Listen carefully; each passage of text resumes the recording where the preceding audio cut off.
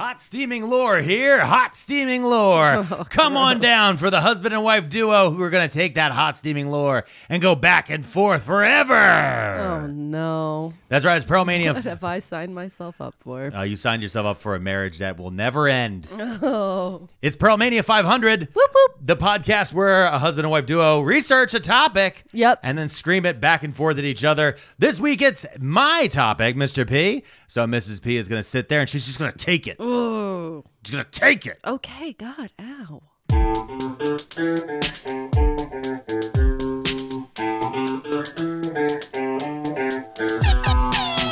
There's a place where you can't stay when the world gets too insane.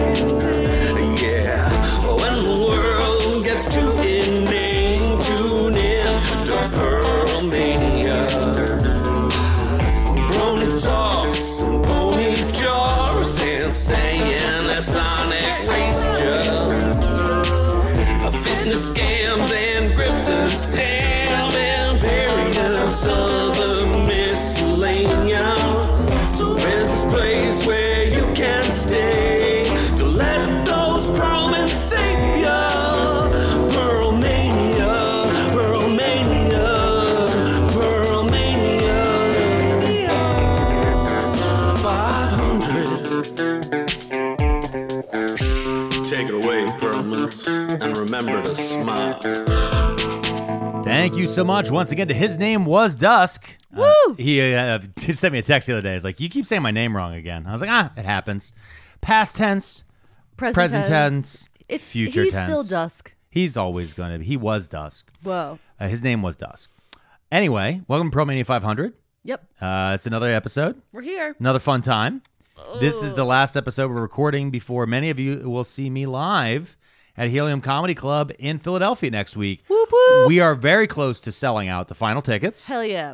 for the now 3:30 p.m. show. Oh my god, it's gonna be so early. I It's going to it. be so early. We are going to be home. I'm gonna eat a nice lunch. We're We're, gonna- get in the car and then we're gonna drive into the city. Mm-hmm. And then uh, we're gonna go to the show. We're gonna have a good time. We're gonna have all the teehees. yep. And then at a very reasonable hour or two later, we're gonna Yeah. get in our car. We're gonna drive home and we're gonna put on PJs. At like at like six o'clock in the afternoon. Absolutely. It's gonna be like day over. It's gonna be six o'clock. We're gonna be done. nice lunch, outside activity. That's immediate time for bed. Yeah. I don't have to do anything else. Sun's still going to be up. I don't care. We're going to be in bed. yes. As we announced on the last episode, we are very close to our stretch goal of the Pearlmania 500 500. Oh, you better get your library card ready, old man. We are so close You're where have to read a book. when we hit the 500 uh, active Patreons at the same time, uh, I will be forced to read a book that Mm. uh, Mrs. P will take uh, different suggestions for, Yep. a few of which she's actually already received a couple. And uh, we will also uh, then put it up for a poll. Yeah, yeah. Um, so, well, yeah. no, it's gonna work. People are gonna send me suggestions. Yes. And then I'm gonna go through, do a quick review of see which ones are the best. Yeah, I'm you're gonna pick take a top three. Yep. And then I'll put up a poll of the top three book suggestions, and then whichever one is picked, uh, we'll go to the library. We'll get it out. And then Alex will read it, and then he'll have to do a book club episode. Yep. So if you want to join the Patreon to help us hit this stretch goal, If you want to join the Patreon to help force Alex to read a book, It's uh, you can either go to alexisanerd.com or patreon.com slash pearlmania500. Link is in the show notes. yeah, Uh, so with that, let's meet because we had a lot of new Patreons. yeah, this week. people are ready People- to spitefully support us to make you read. really want me to read a book that doesn't have pictures in it, um, and that's I am people. so. Let's I also joined the Patreon. so let's meet our three dollar and five dollar hey huns and team leads. Hey, hon, let's meet our team leaders. All right. So this week we have quite a few people. We're going to start off Mm-hmm. with the post potato snork. yeah, Now, post potato snork actually sent in a very valid question. an important question. because we've talked about post potato versus pre potato Yep. Mm-hmm. on this podcast many times. Uh, in fact, even possibly working on merch for a post potato pre potato yeah, world. it's our uh, a, uh BC versus AD. yeah, because a lot of people, you know, argue about AD versus BC versus BCE versus Mm-hmm. CE, and we say pre potato, post potato, and Because uh, the world only matters whether or not you're able to eat a potato or not. Yeah, and po- post potato Snork, um, who th- I love the name. Yeah. because Snorks were better than the Smurfs. I'm glad Uh, we can agree. Post potato Snork uh, asks, "When is post potato? Well, no, when is potato? When is potato? You need a, a You need a- central an moment. actual moment. A moment that is potato to have a pre and a post. Now, here's the thing: is when we were discussing this and we were talking about pre and post potato, I was talking about the European world Mm-hmm. because obviously potatoes existed in Peru in the Andes this entire time. Mm-hmm. Yeah. if you were in South America, you had potatoes. Yeah. You always did. You lived a blessed life Oh, full of God, potatoes. So happy. So many different colors of potatoes. Yeah, it was a great life. What a time. Um, but I've gone through, and Mm-hmm. uh, so did Post Potato Snork, and noticed that there's a lot of different dates. Potato moments. Big Yeah. potato moments in history. Do we go with the moment that the potato was found? uh, when it was uh, what's it called? Introduced? colonized by Spain. when when a conquistador was like, "What are you eating? Dirt?" and then they're like, "No, it's delicious." And it's like, "Oh my god, I have so many ideas." Um, do we go from that date? Mm-hmm. Do we go from the date when it was first introduced uh, to some areas of Europe, or do we go specifically to when Sir Walter Raleigh introduced it to the Irish? I mean, that's an important moment. It's a very It important moment. the game, really. now I went through and uh, read a couple different um, academic research papers about this, and there's one issue that you run into a lot. Mm-hmm. Is you see there's two types of potato. okay. There is a Solanum tuberosum, Yep. which is your classic potato Tube. the one, the tuber, Yeah. the one we like, and there's also Ipomoea batatas, which is a sweet potato.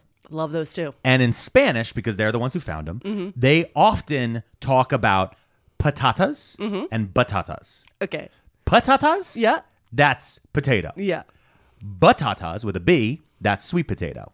Okay, you follow me? Mm-hmm. Yep. So um, there was some confusion there about that, of which one are they talking about?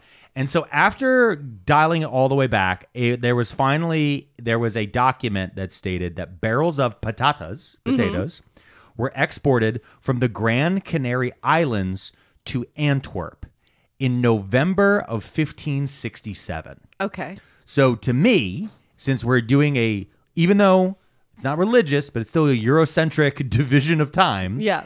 Uh, I'm gonna go with November 1567 is the moment of the potato. That is the moment of the potato. now because again because they were first seen in 1532 by Mm-hmm. the Spanish. It took time for them to get to the Canary Islands. They had to be planted in the Canary Islands. They didn't have to grow as a bumper crop Mm-hmm. and all those different things. So I would say 1567 is potato, and everything after 1567 is post potato.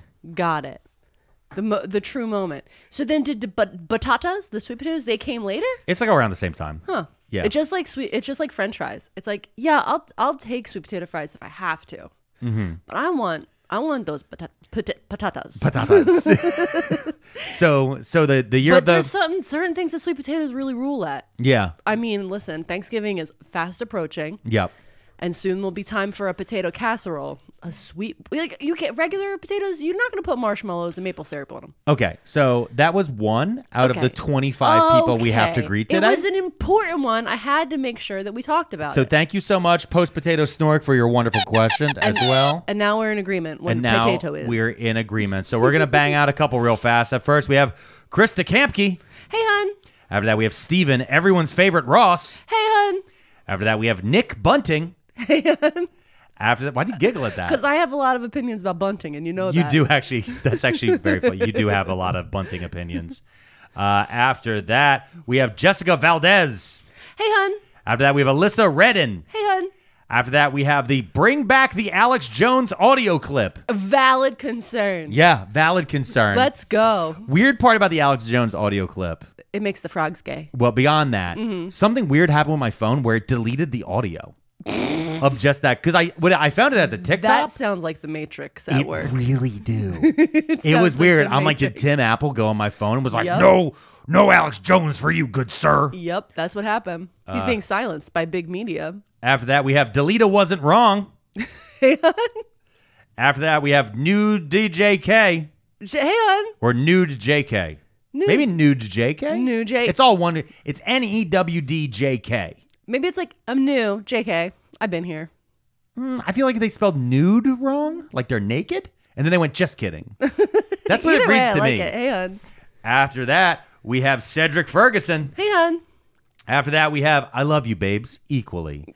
And I just want to say Thank thank you. you. Thank Thank you. you. Thank you. Because a lot of people come in and they're like, Mrs. P is my favorite. Mm-hmm, Uh, or other people will write, like, uh, Alex stinks and we hate him so much. That's just or me. They'll I write, signed up for or they'll write, uh, they'll write underscore Alex underscore Pearlman Uh-huh. underscore is underscore the underscore worst underscore Mm-hmm. Host of underscore Pearlmania 500 underscore Mrs. underscore P underscore four underscore life, but life is spelled with a Y. That's. I mean, you can't argue that kind of quality name. That is not actually someone's name, but that could be. Yeah. Uh, and that's usually how it feels like when I read them.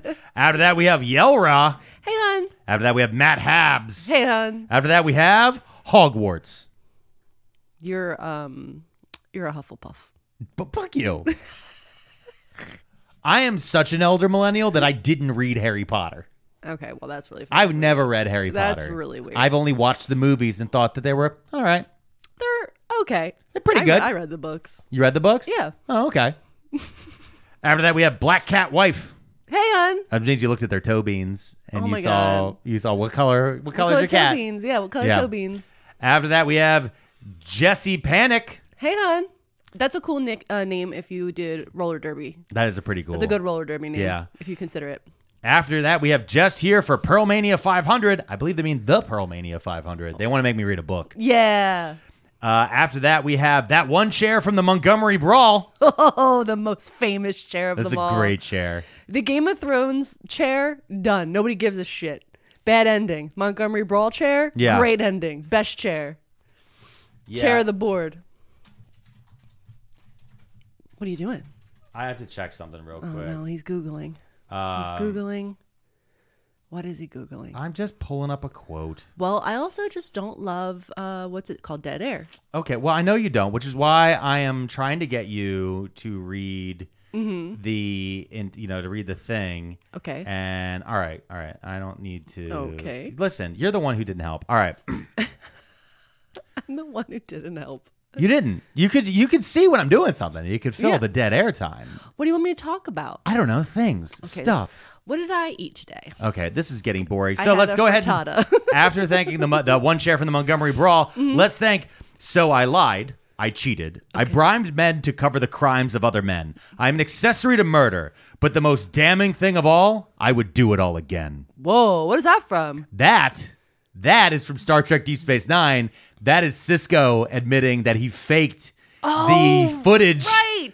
with a Romulan senator. Yeah. I had to look up the quote because it was half cut off because they ran out of space. Well, it's a great quote. it's insane how many characters Patreon allows you to use for a name. I love it. I was like, why do I know this quote? I was reading it. I was like, oh my God. After that, we have Celine Parker. Hey, hon. After that, we have Alyssa Brown. Hey, hon. Ale- after that, we have Alex P. Mania 29.95. Yeah, you're on sale, twenty nine ninety five. Oh, that's pretty good. Yeah, it's a pretty good deal. After that, we have Chris with a K. Hey, Chris. Uh, Is that our friend Chris? Could be. Might be. Might be. I know she's been listening for a long time. Yeah. After that, we have a girl named Thumb. A girl named Thumb. And finally, Okay. what a great ending. All right. Let's hear it for Juggalo Mania 500. Let's go. That's such an amazing. That's such an amazing Who way. doesn't To, love juggalos? well, Hey, hon, let's meet our team leader. The answer was mall cops. That was the answer. yeah, which I am a former mall cop. Gonna mark those as complete. Just, I like the way you said that. The way that people like say that they're ex-marines. I, you know, You're like, I served my country. one of my favorite parts. I is- did my time. One of my favorite moments as a stand-up comedian was Mm. I was sitting at a table with some comics, and I just happened to mention. Yeah, you know, when I used to be a mall security guard, and one of them just leaned forward, put his hand on mine, and said, "Thank you for your service." and uh, yeah, you know who was I- gonna who was gonna ju- who was gonna guard Abercrombie and Fitch? Uh, this guy. This guy right here. All right, I didn't see any of you out there. Mm-hmm. all right, there was a thin minimum wage line. I was like, what color? I did not. I did not make that much What money. What color represents the mall security I think guards? it's like a. I think it's like a beigey yellow. Yeah, it's definitely an off off white. Well, they have when you go now. It, I've seen it. I've pointed out to you before.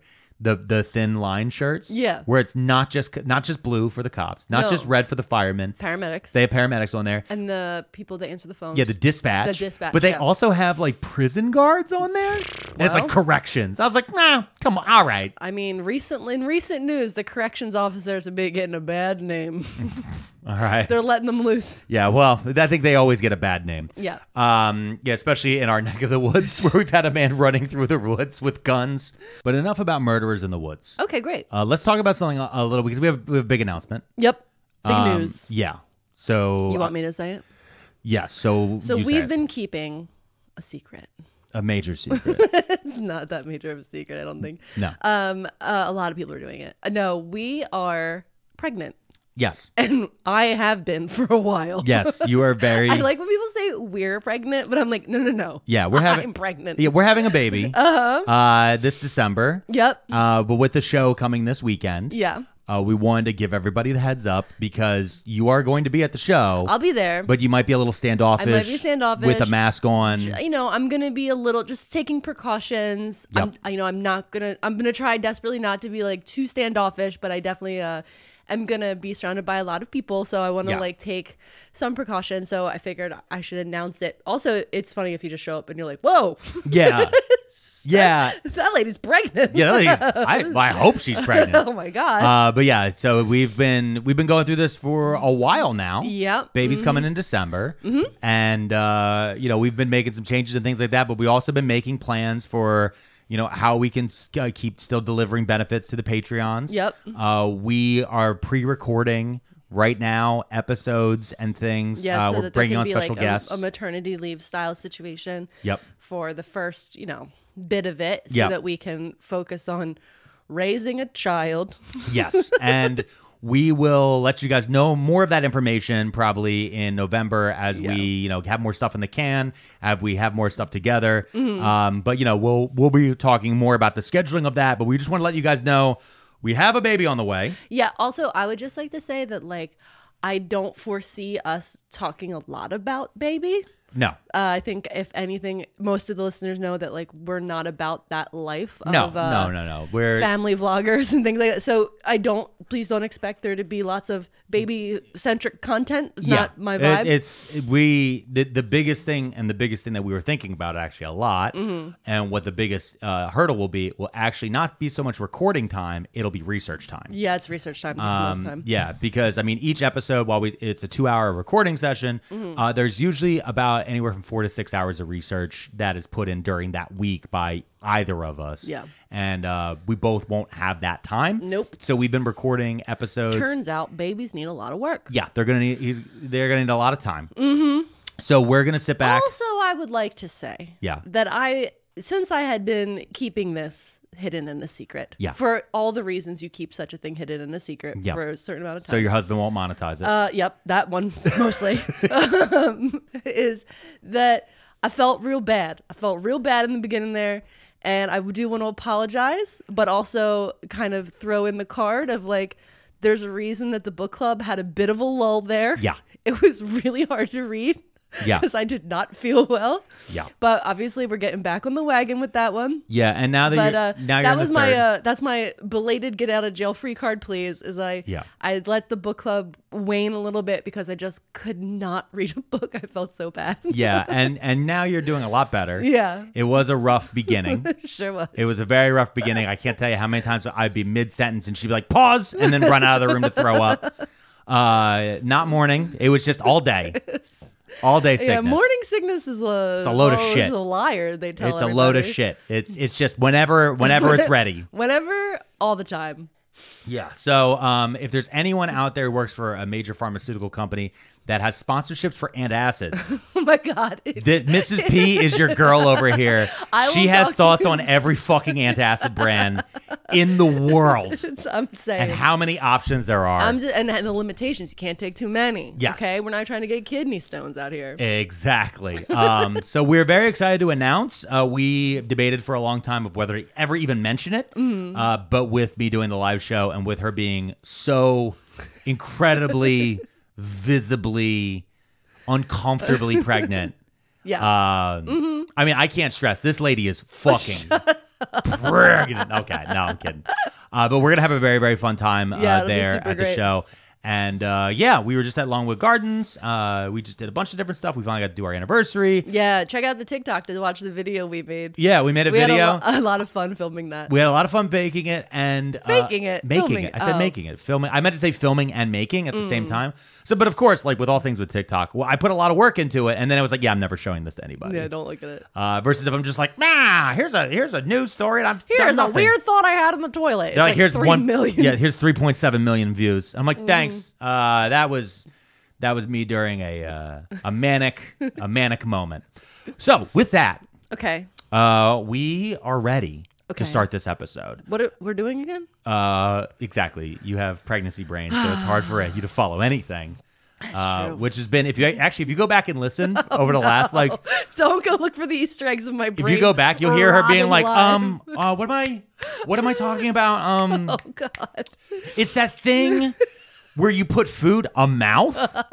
Yeah, that's happened a couple times. Yeah, it's fine. Uh, my brain is rotted, yeah. and hopefully that means uh, future child will be very smart. 'cause Yeah. You're taking all of my th- brain. So for all of you who are coming to the show on at Helium in Philadelphia, thank you so much. For all of We you who can't make it, seeing everybody. Uh, with that being said, for next year, uh, once we are settled with baby, I'm going to start trying to plan to actually get out on the road Yeah. to come to at least closer did you corners. just did you just say that within the pregnancy announcement Yeah. that you're planning on abandoning me with your child to go on a tour? Is that what you just said? uh, I didn't not say that. Pearl Mania, Pearl Mania, Pearl Mania, Pearl Mania. 500. Okay, so today's topic Okay. is uh, John Edgar Hoover. Yeah, okay. J. Edgar Hoover. All right. Uh, so a lot of people know him as the first director of the FBI, mm-hmm. and that's true. Mm-hmm. Uh, he was the first director of the FBI, but he was the fifth director of the Bureau of Investigation. Oh, okay. So there's a lot about this guy that people I think they know. When, we, when you brought this up, I thought you were talking about Herbert Hoover. oh, yeah, no relation. That's why I was thinking about Annie. Because there's like a song during the Bu- Broadway musical about Annie, Hoovervilles. About Hoovervilles. I was wondering when you mentioned it, when I mentioned it like a bit ago. yeah, you're like, I who? thought you were talking Annie? about Herbert Hoover. but it's been so long since I've seen the musical Annie. Yeah. That I was like, well, there might be a. it's a very good song that's got a fun thing where they're like, uh, you know, because he said a chicken for every pot. Yeah, And yeah. they're like, we don't even have a fucking pot, you idiot. Yeah, yeah. And they're like, maybe we will cook you for dinner since we don't have any fucking chicken or pots. It's very, it's a threat of violence in music, and that that's funny to me. yeah, well, it's a, it's about the Great Depression. Yeah. uh, which this guy was a big, big part of. Yeah. he was there. Not not Herbert Hoover. No. J. Edgar Hoover. But that was my mistake just now. no, that's fine. Um, so speaking of birth, J. Edgar oh, Hoover. Yeah, yeah. let me link those two forever in your Oh, imagination. Uh, J. Edgar Hoover was born on January first, eighteen ninety five. Okay. Yeah. Uh, so yeah, he was a he was a January. What what uh what It's sign? New Year's baby. Yeah, what sign is that? Capricorn. Capricorn. Okay. Uh, so his dad's name was Dickerson Hoover. Dick Hoover, No, Dickerson. but his short, his nickname Dick. Uh, it didn't Hoover say what his nickname was. Hoover Dick. He went. It was Dickerson. Wow. Uh, and his mom was Anne Marie Hoover. Okay. Uh, now Dickerson, his Mm-hmm. dad, had a government job, and uh, they lived in Washington D.C. Mm-hmm. Now, one thing to remember about Washington D.C., especially at this time, is Washington D.C. was south of the Mason-Dixon line and Oh. heavily segregated.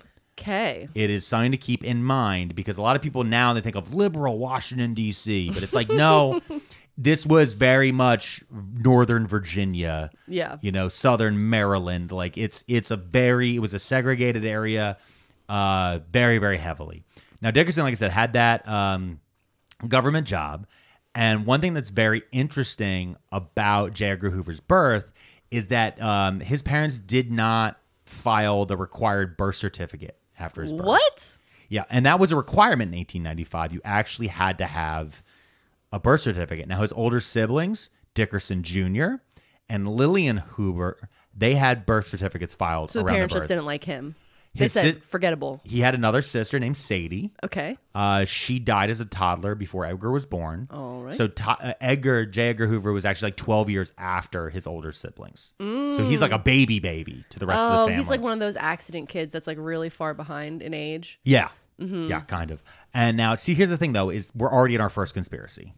Okay. Okay, uh, because the lack of the birth certificate became part of a major conspiracy theory about Against J. Barack Edgar. Obama from Donald Trump. Close, actually, weirdly close. Uh, no, it's it's a conspiracy that J. Edgar Hoover is actually black. Whoa. Okay. Wow. Yeah. I was really close. Yeah, that's what I mean. Like you're really, really close. So there's a few things about it. All right. One is that um, a woman came forward. I think it was in the late '90s. Her name is Millie McGee. Millie McGee. And she said that in the late 1950s, quote, uh, I was a young girl growing up in rural McComb, Mississippi. A story had been passed down through several generations that the land we lived on was owned by the Hoover family. My grandfather told me that this powerful man, Edgar, was his second cousin and was passing for white. If we talked about this, he was so powerful he could have us all killed. I grew up terrified about this. Uh, but later, as she uh, got older, uh, she became an educator and a researcher, and she pulled up more info, and she, you know, did some ge- uh, genealogy and a few other things, and uh, she revealed this to the world, stating that J. Edgar Hoover was her relative. "Quote: Because of Edgar's anti-black history, I'm not proud of this lineage." Uh, but history must be based on truth, she said. Um, but yeah, there was a few different things. Uh, the writer Gore Vidal, uh, who also grew up in Washington D.C. in the 1930s, uh, said it famously in an interview, "quote It was always said in my family and around the city that Hoover was a mulatto, and that he came from a family that had passed." Because now those are two separate Yeah. those are actually two separate conspiracies when they get linked together because the rumor that Gore Vidal is talking about is that one of his parents, either Dickerson or Anne Marie, had an affair with a black person. And then they don't get the baby and then they certificate. kept yeah, and then they kept the baby and then never got the birth certificate Mm-hmm. because they would didn't want to lie under oath or whatever about who the parent parentage was. Hmm. There was also another rumor that again there was a family member uh, or that there was a black family that had an, a kid and they just took the baby. So there's all these different things. Baby stealing. Okay. Yeah, baby snatching, all these different things. Now, I bring this up because while reading about this, this is kind of a common trope, especially in online history, when you claim that pre World War II born historical figures are actually white passing or mixed. Okay. This actually happened a lot in pre internet black publications. Okay. Um, for instance, there's a claim that still gets made today that Dwight Eisenhower was black. Um, even though both there's like his parentage and his family tree and everything like goes back to Germany and, and England, I believe. Uh, this all goes back to a picture of his mom, um, Dwight Eisenhower's mom, Ida Stover Eisenhower, when she was a young woman in 1885, had her picture taken, and in that picture, Okay. she looks mixed. Like she she just has attributes, and because of the shading and the lighting and things like that, Mm-hmm. when you're looking at her, her hair's kind of curly. The the structure of her nose, you go, that's definitely that lady definitely. So is is, mixed. it that it just started because it sounds like people are weaponizing this idea of like secret blackness, It's it's but a- then also you're saying black publications wrote it. So then it's like It's both. it- they're so it's two groups of people for different reasons saying it. Yes, it's both. Got so it. the thing is with uh, Ida Stover, when you see the one picture they always point to, Mm-hmm. it's when you look at it, like, yeah, she does look mixed in that picture. But when you Mm-hmm. see any other picture her of her, you're like, that's just a white lady. Like it just she doesn't She just have. looked really good there. Okay. Yeah, it's just She looked really good that day. she was having a nice day. She had good hair, Um, good skin, Snopes- glowing. Snope says all of this is just generally just unproven. Okay. Because there's really no way of tying it back. But I want to bring that up because that's the first conspiracy. Like his birth is a conspiracy. Okay. In some people's mind. And also the I want to get through the idea of secrets when Mm-hmm. we talk about J. Edgar Hoover. Because that's going to be a big part of this is the collecting of secrets. Yeah, big into secrets. Um, so J. Edgar grew, like I said, he grew up in Washington D.C. Uh, in one of the most densely populated areas of the city. Okay. Uh, it's the Capitol Hill District on Seward Square. Now, when I was reading, uh, doing my research on this and stuff like that, I was reading about Seward Square in this era. Uh, and a lot of what J. Edgar did through both schooling and through his job, he um, always stayed relatively close to home, like physically close to home. Okay. He wasn't like well traveled at all as a kid. He didn't really need to leave DC. Yeah. So he kind of has that like, and DC at this point, like I said, it's very segregated. It's also very homogenized, Mm-hmm. meaning like everyone is kind of like the Hoover family. Yeah. Everyone is just white, middle class. There isn't like the most diversity you would have. It'd be like, oh, that guy's Presbyterian. Well, that guy's Methodist. Whoa, Like maybe there would be a wait. Catholic around, but like it wasn't. Maybe the one wandering Catholic. Yeah, just one wandering. Get out of the Catholic. neighborhood. But yeah, it was yeah. I mean, a lot of shaking the fist. Yeah. we don't want any of you Catholics around here. If we want a papist, you know. Uh, but there was there was a lot of that, um, you know, as he's growing up. So it's a very, it's it feels open. You think it'd be open because you're in the nation's capital, Mm-hmm. but it's a very closed environment. So he grew up in a bubble. Grew up in a very big bubble. Uh, you know, he went to school and he went to high school. In high school, he joined the ROTC, the Reserve Officer Training Corps. Those kids were always the worst. Weird. They're Weird so dorks. weird. Um, he then joined. He also joined the debate team. Oh God. Yeah, he's an asshole. Um, I don't. It's just Listen. ROTC and debate. Yeah, Ugh. yeah. Um, want to debate about the the ROTC thing? And where they wear the uniforms in school? oh, Ah, you, you want to know what he debated about? no, what? Well, he debated against women getting the right to vote, Oh no. and he also debated against the abolition of capital punishment. okay, great. And he's like very famous about talking about this like later. And and the debate team was very important for him because he grew up. Wait, so you're telling me in high school? Yeah. In high school, he had these views. Yes. And then at no point in maturity he grew out of them because like high school boys stay talking about go back in the kitchen and make a sandwich but by the time they're in their 30s or grown they're usually moved past that So so funny story. Okay. Mm-hmm. Uh, by the time he was in high school, all right, uh, women still didn't have the right to vote. yeah so like he's he is gonna be oh he has to be 25 is when when he's 25 women finally get the right to vote. okay So he did, and he still doesn't have that frontal lobe development so no he's still not he's going to be just a there dick. Now here's what's here's what's really crazy. okay So he had a terrible stutter.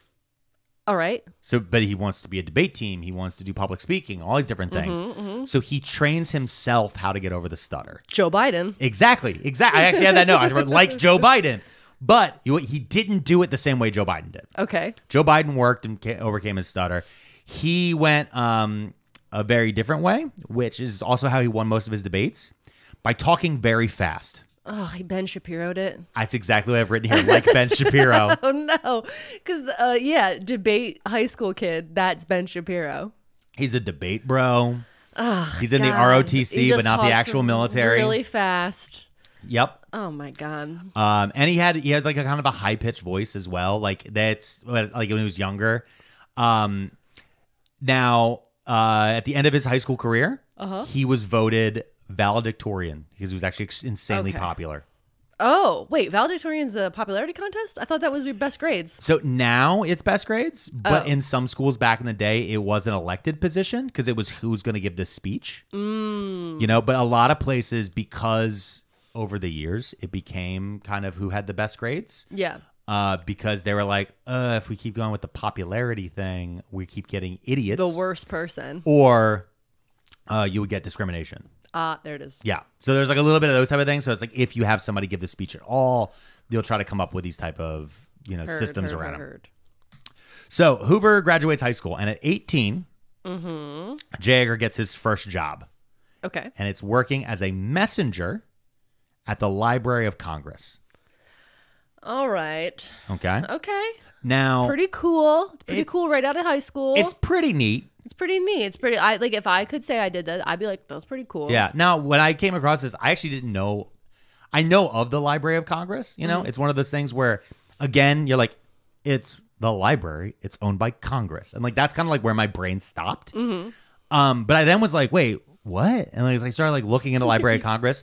You're like, do I get a card there? Yeah, well, weirdly. Um, so the Library of Congress was formed ba- because Thomas Jefferson sold his book collection to the library system. Nice. Okay. And the reason why he did that is because in 1812, the British burned down the library.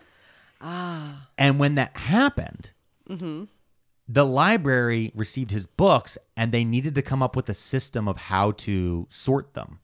Mm-hmm. Now, this is before the Dewey I was gonna say they didn't System. have Dewey out here. They didn't have Dewey Decimal, which which Dewey Decimal System, great system. Mm-hmm. However, Dewey himself, Not a great guy. horrible. Not a The good man dude. was such the man was such a fucking sex pest monster that he was banned from libraries back in like the 1880s. like back then, they were like, this dude, fucking crazy. Yo, you like Um, the um, like when you're in a library for most of the part, you don't really talk to anybody unless you're asking the librarian questions. Like Mm-hmm. you're sitting quietly. It's a shh type of zone. So Yeah. like to sex pest there, Yeah. wild. Yeah. Wild behavior. He's just, I'm gonna grip up on these He's ladies. like, let me tell you, you put the F dot D, and that's how you know you're in the fiction, uh, dark something. I was, I don't know. yeah, okay. We're gonna chalk that one up to baby brain on that one. No, I was thinking of people keep sending in suggestions for romance novels. Oh, okay. And they're they keep sending in dark romance, and I'm like, I cannot read a dark rom- romance and explain it to you. No. No. How about BBW shifter porn?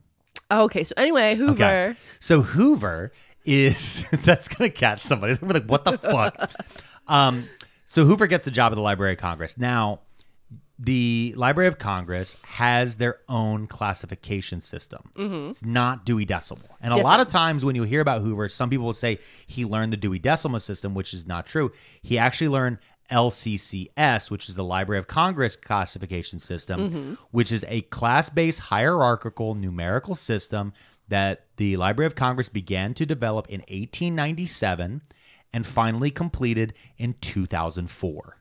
Okay, I have a lot of questions and thoughts. Okay. A class based book system? Yeah. So, for instance, law Yeah. in the Library of Congress class A. is class K. Shit, it's not even the top. Okay. Yeah, there's like 38 classes, and then there's a series of numbers that enumerate after that. So that way you start in like the general subject area. Mm-hmm. So books are moved around. This is different than like the ISBN system that you'll mm-hmm. sometimes see in books and all those other different things.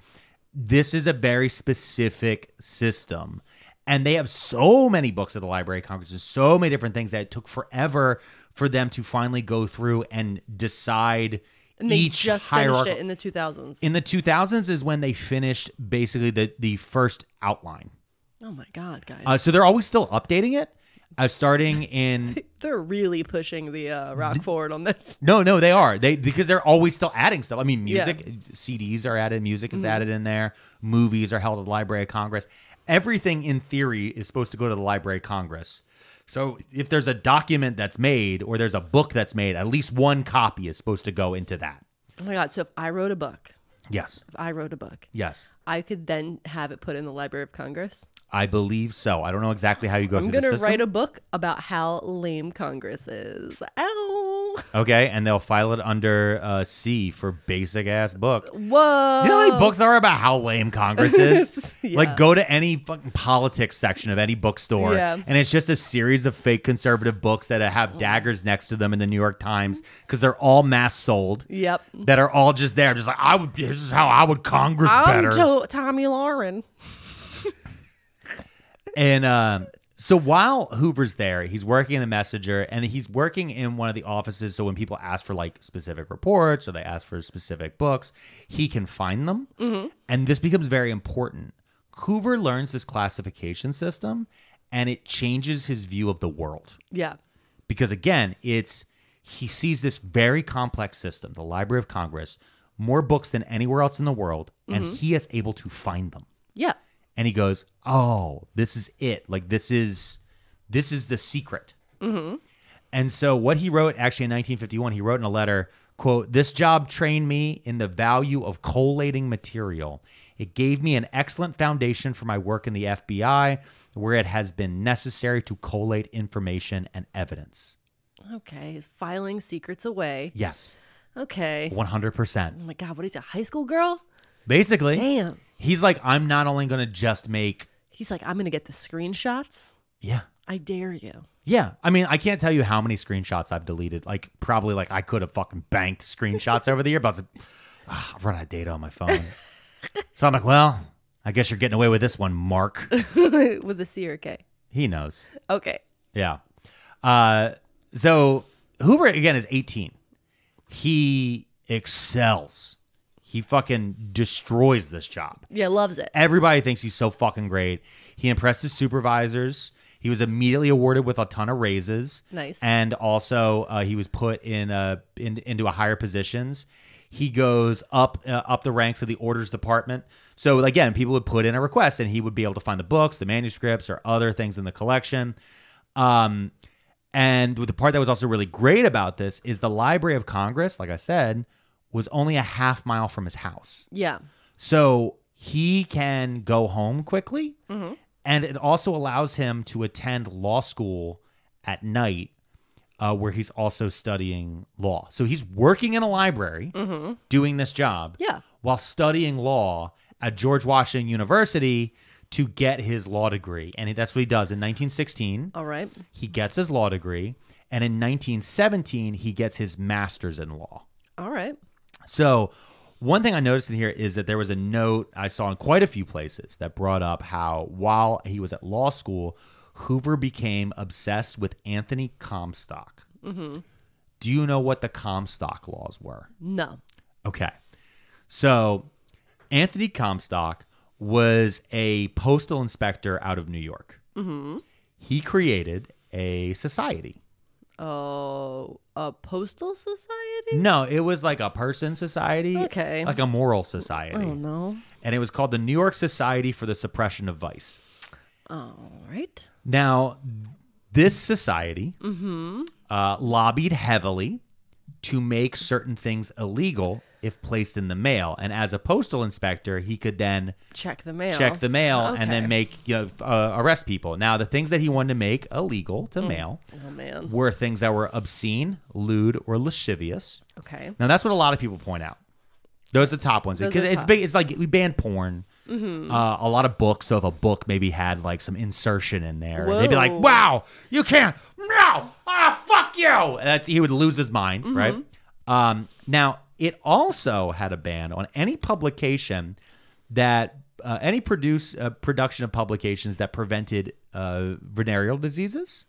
Oh, oh wow! Like in the schools where they don't teach sex ed, and then all Yeah. the kids get uh, chlamydia. Yeah, so you couldn't teach anybody about condoms. You couldn't teach anybody about like how to not get VD. Oh man.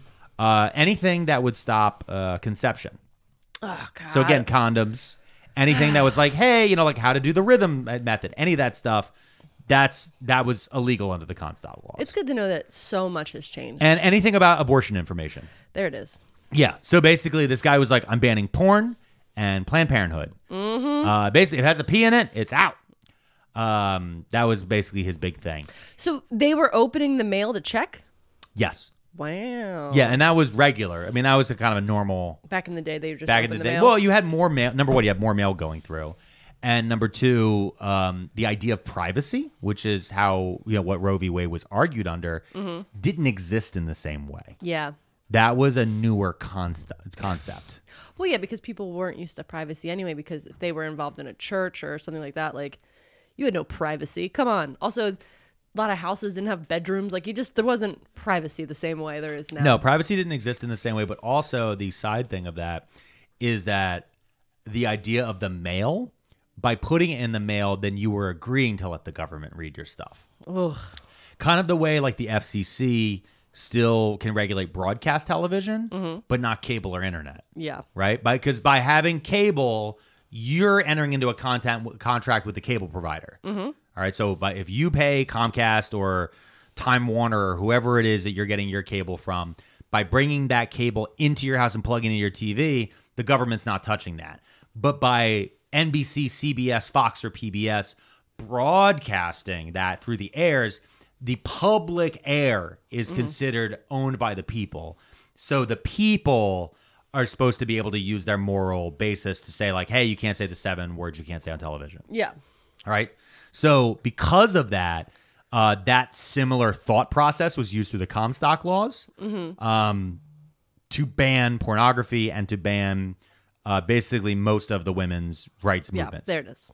A lot of it was banning women's rights. There it movements. is. It's just always the Yeah. the crux of the issue. Um, he uh, uh, he he opposed suffragettes openly. He was very big on that. He also opposed women's rights. Are we still talking about the dude or the? I'm still talking about Comstock Okay, so because again, this is this is J. Edgar Hoover's hero. yeah, this is his best dude. He hates he hates these women who are fighting for rights. Uh, quote. Remember, also th- this Comstock guy, Mm-hmm. when Edgar Hoover is in high school and he's debating that women shouldn't have a right to vote, Mm-hmm. this is who he's like using as his examples. God, so he's like the teen boys that are pretending to be, Be Ben An- Shapiro and Andrew Tate. Yeah, it's the same general idea. It's why don't things change? Well- why do we just keep repeating history? Uh, Comstock, quote, through his various campaigns, he destroyed 15 tons of books, Oh my god. Uh, 284,000 pounds of plates for printing objectionable books, Mm-hmm. and nearly 4 million pictures. Of titties. Yeah, or just anything that he said was objectionable or, or obscene. Uh, he claimed that, quote, books are feeders for brothels. what you reading for? you read a book, you're going to end up getting your dick sucked. Whoa. That's how, Well, I think with honestly, libraries should promote it that way. I think. Read a book, Oh, get your dick no, sucked. okay. I think that you're reversing the thing is that if you read a book, then you're going to become a slut. It's an Oh. anti-woman thing. It's not a pro-man oh. thing. Oh. These women shouldn't be reading because then the they're going to become sluts. I'm so dumb.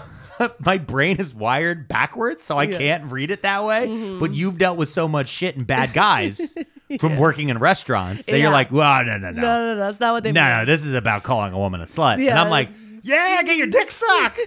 Oh, imagine reading Harry Potter and then getting head. You never read Harry Potter. I know, but maybe This if I did. the problem. See? All right. Um, Comstock boasted that he was personally responsible for 4,000 arrests, Okay. And he claimed that he drove 15 persons to suicide in his fight for the young, and he was proud of that. The very pro-life of him. That's Yes. that pro-life energy where you're like, no, we gotta let women die. So, like, fuck. Okay, cool, dude. Yeah, he. Uh, I mean, one of there was a few suffragettes that he basically got thrown in jail. One of which I was going to go to state prison. Uh, She killed herself before the day before she was supposed to turn herself in. Sure. Uh, a few like that, uh, because he would he was destroying people. Yeah. Uh, he was a special agent of the Postal Service from 1873 until 1907. Oh god, that's a really long time. Uh, yep, and he then retired and moved to northern northern New Jersey, uh, where he lived for eight years, and then died at the age of 71 in 1915. Well, at least he died in North Jersey. Yeah. Fuck yourself, idiot. But also, I want to point out, like he did, he retired at 63. yeah. Fuck you. Yeah, dude. But also, like, all right, well, at least he boomer, like he, like he didn't stick around. You didn't stay too long. That's the part where I'm like stuck. also, I'm picturing Jersey City. That's No, like it- specifically. it's- no, I know it's probably because Jersey has really beautiful parts of it, especially in North. No, it's like Summit Hill or something. it's something. so nice. Probably fucking bag of shit. It was like the really nice part of North Shut up, Jersey. North It's like a farm. God All damn it. It's like where the where the leaves change at the right time every year. Mm. That's almost that time. Yeah, and he just sat back there and he just drank. He just drank. Uh, And he thought hot- about the women he got that he got that killed themselves. Yeah, he just drank hot cider. How dare you? Yep. Um. so, this is this is like the space we're in in Hoover's head. Okay. Uh, when he graduates from uh college with his master's in law, and the day Uh-huh. It after cost him one nickel. Yeah, the day after he graduates, Mm-hmm. Uh, he is offered and he takes a job as a clerk in the United States uh, Justice Department Mm. to work in the War Emergency Division. Um, and this is 1917. Okay. Do you remember what happened in 1917? What was currently happening? I mean, we were. Are we about to go to World War One soon? Yes, the United States is now in World War One. Mm, yeah. Uh, there is an active draft. Mm-hmm. Hoover is 22 years old He doesn't get drafted. because this job is a draft exempt position during oh World War One. You fucking scumbag. even though he was an ROTC guy. I He's know. trained officer corps. Oh, Yeah. that's such. It's just. It's so ROTC guy, debate guy. Yep. ooh, goddamn. Yeah. Like I can picture this guy. I've met this guy. Yeah. He's a little short too. Oh my god. A little short. And honestly, um, if you to go back to the, the, the thing we talked about at the very beginning with Mm-hmm. his family, if you look at a picture of his dad and him, like they don't look that much alike. Uh-oh. Like there is something there. So the mailman conspiracy? Yeah, it, there's a little bit of that there. I mean, his now he and his mom looked a little bit more like, but when you look at him as a young man, Mm-hmm. as an older guy, he just kind of he's old and fat. Um, he just always, whenever you see the pictures of him from like the 50s or 60s later, like he's just an older guy. Yeah, he look he look always looks like um what's the big slug guy from uh Star Wars? Jabba the Hutt. That's how I always pick look cuz he's got that like flat face. he has no. I don't neck. picture him that. I don't picture him as that. I picture him as who's the old lady from Monsters Inc. Who comes out because he th- that's the neck. That's the neck. That's yeah. the neck he has. Oh, the slug lady. Wachowski. Yeah. That's kind of That would Yeah. be a great Halloween costume. um. The So slug lady. So again, so now he's he's not in the war. Mm-hmm. He's 22. Um, now it's also around this time uh, that Hoover, uh, the only time a girlfriend's ever mentioned in Hoover's life. Oh. there was definitely a girl that he is palling around with, Mm-hmm. um, and then uh, she that falls apart Okay. uh, because a guy that she is sending letters to during the war returns from the war, and she immediately marries him. Um, immediately. Okay. All right. Um, We're never going to mention women and him again. So Hoover, I just wait. I just need you to know that when I pictured this, Yeah. when I was picturing this scenario, it was the moment in the Muppet Christmas Carol where she is leaving Scrooge, and they're singing "The Oh. love Love, is is, gone? gone. Yeah. But in this scenario, she's like, "No, you're annoying. You're obsessed with your work. I don't like you. yeah, you keep filing my underwear. Yeah, I can't. I'm gonna. There's a nice military man. He just got home. I'm leaving. Yeah. So uh, again, he's 22. Mm-hmm. I want you to think what you were like at 22. I was Picture yourself a real nightmare. A okay. true nightmare. Okay. I'm gonna picture myself at 22. Okay. Ooh. Yeah. All right. For the listeners out there, picture yourself at 22. If you are 22, good luck, Godspeed, buddy. Godspeed. Good luck.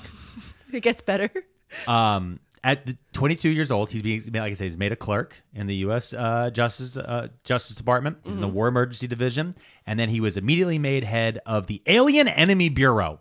Holy shit, dude. At 22? Yeah, He's the head of a bureau? he's the head of the alien the Alien Enemy Bureau. I don't think they mean aliens from the sky, do No, they? they don't. This is back when they used to use alien for anyone who was foreign born Yeah. who did not have U.S. citizenship. Um, now, the Alien Enemy Bureau was authorized by the 1917 Espionage Act uh, that was signed by Woodrow Wilson. Um, so after the, after he's made the head of this, Hoover is going to spend the rest of World War One harassing immigrants who he deemed not loyal enough to the United States Oh, good. uh, specifically, obviously Germans, Yeah. because that's who we're fighting in World War One. And there's a lot of Germans living in like Pennsylvania, in New York, all these different areas. Uh, so anyone that he felt was not uh, American enough, and it's also part of uh, Woodrow Wilson, who we haven't really talked about too much. Woodrow Wilson might have been one of our most racist presidents we ever had. Mm-hmm. Um, what do you know about Woodrow Wilson? Just that, literally. Th- That's all you know about it. So Woodrow, I always know because um, many years ago, uh, somebody brought up one of my friends that like Woodrow Wilson high schools yeah, are sometimes predominantly African American high schools. Yeah. And it's fucked up because he was such a racist. He was a huge bigot. Yeah. He was a giant fucking asshole bigot. Um, one of the big things he he often railed against was hyphenated Americans. like African American. No, not just African. African American didn't exist as a term. So German American. German things like that? Americans, Italian Americans, British Americans, Welsh Americans, So Irish he's- Americans, He's Polish really for American. the Native American then. The Uh, indigenous. He's no, about no, that no. life? He wants you to. He wants just white Americans. Mm. He wants you just to be. If you're here and you're white, you should just be white. Is what he wants. Mm-hmm. Because what his big thing was, um, is you had so many people coming over, especially in the late 1880s Mm-hmm. uh, and 1890s, that the big fear that was pushed was that a German American Uh-huh. in America will vote, you know, in a way for representatives in Congress who would then push policies that would help the Kaiser. Got it. A got Russian it. American will vote for policies that would help people back in Russia more Uh-huh. than they would help their neighbors here in America, even though all their neighbors here are Russian as well. So like it doesn't Mm-hmm. They're make always sense. in neighborhoods. It's that idea right now that you currently have a lot of in Germany, which uh, there's a lot of Turkish people that live in Germany Mm-hmm. that they moved there while the economy of Turkey was really bad. Um, the Germans though did not really make a big push to um, melting pot word I'm looking for. What's the word I'm looking for? I don't know. Come on. Integrate. Integrate. Mm. Did not really push a lot for integration. So in Germany, like uh, Turks stick out more. Mm-hmm. Um, uh, same thing also happens in France. Like they they just treat people from the former colonies terribly. Oh, yeah. But they're, they're called French, but they're not really given the same societal So feel. this guy, uh, I'm sorry, Woodrow Wilson. Woodrow Wilson, he really, it's interesting to me to hear like he was a big proponent in what would be like cultural homogeny and the idea like we're all white. You're you're. Yes. I don't want to hear about your Polish Day Parade. I don't want to hear about your Irish American shit. Like it's you're just white and like that was successful. Like that Yes. definitely happened. But it's interesting to me because now we have a culture and a generation of people that are obsessed with their lineage because like all of their culture was stripped from them by these generations before so then they're always not that they're always but there's many people that are grasping on for any type of culture whether that's like Mm-hmm. getting into like crystals or like the like all the things that people try to find that connection for well, it's, others It's, it's why you- I find it so funny that so many of the white nationalists all want, want to be Norwegian. yeah they want to be a viking They want to be Vikings and shit like that. Where like Woodrow Wilson was such an old school racist that he was like, no, yeah you need to be American, and American is white. Like that was his view Yeah. of the world. and now like 23 and me everybody's like i'm 3% this Yeah, I'm three 2%. Yeah, I'm three percent And it's like- Ashkenazi, and it's you're like, so what? crazy because like when I think about my personal family, like I know that, um, you know, my prior generations, when they came over, they didn't speak English. Yeah. Like my grandfather fluently spoke Russian, and then the he wouldn't teach my mom and my aunts Russian Yeah. because he wanted the homogeny. He wanted to be just like the Irish Catholic neighbors. He wanted. Well, it's also that, that. I, it's also that idea too. But of- wait, no, I wasn't done. Okay. So like he, the, he spent their lives being like, no, we got to be white. We got to be this. And then a couple years ago, like one of my aunts got a 23andMe done, and I'm like, "Wh- bro, we could have just talked to your father about where your lineage comes from. Yeah. But because so many older generation never speak about it, they never talk about the lineage until they become a certain age of boomer where they become obsessed with it and they're on ancestry.com and Or- they're printing out pictures from like 1702 or some yeah, shit. or or they just drop a haymaker on you in the middle of a bar, and you're like, what the fuck? Oh yeah, you know, like like your secret aunt back in France. You're Yeah. like, the fuck are you talking about, old man? My dad Yeah. does it to me all the time. Yeah. The other thing, um, but for their generation and for others, um, the other thing that happens with the reason why they don't they didn't teach the language, Mm-hmm. it's the idea. It's basically burning that bridge. yeah, I know. You can't go back to Russia. You can't go back to Poland. You can't go back to these places. We're going to make this is our home here. I know, but it's also crazy. because, No, I like, know. I know it's Personally, crazy. my that that grandfather I'm talking about, I know. went back to Russia. I know, he did. it's so funny. He went back and visited like a few times. And then supported a lot of politicians who strictly wanted to help Russia. Like it's it's actually insane. Wait, so he was right then? Yeah. If you're Russian, you're going to support the Russian Oh yeah, yeah. Do me a favor. We're do me a favor. Speaking to the podcast we're recording, that Woodrow Wilson was right. No, Why don't you say that I'm for me real saying- fast? But I'm saying you proved his point. All right. So uh, Hoover, like I said, he's in charge of this group, the Alien Enemy Bureau. Bureau. Um, his department uh, ended up marking about 1,400 suspicious Germans living in the USA during World War One. okay. Uh, Hoover and the department arrested 98 of the 1,400. Uh, and they marked that another 1,172 were arrestable. They had they had a cause to arrest them. They didn't, Okay. but they had cause. Uh, just so you know, that is a grand total of the 1,400 even that they noticed. Uh, that's uh 12 1,270. okay. So that's like 11% of Germans. They were like, yeah, 11% of them are fine. Oh my god. We're going to fuck it. We're going to fuck up the rest of them. Okay. Um, so yeah, so So after that, the war finally came to an end. Um, you know, that department gets folded in, and uh, Hoover gets transferred. Now, again, he's still a very young man. He's transferred to the Bureau of Investigation. Now, the Bureau of, of, of Investigation is not the FBI. Mm-hmm. It is not. And Okay. this is the part that's actually very difficult. And it's very difficult to understand because when you Google FBI or you Google the BOI, it will always just be like, oh, you mean the FBI. But there actually is a difference between the two.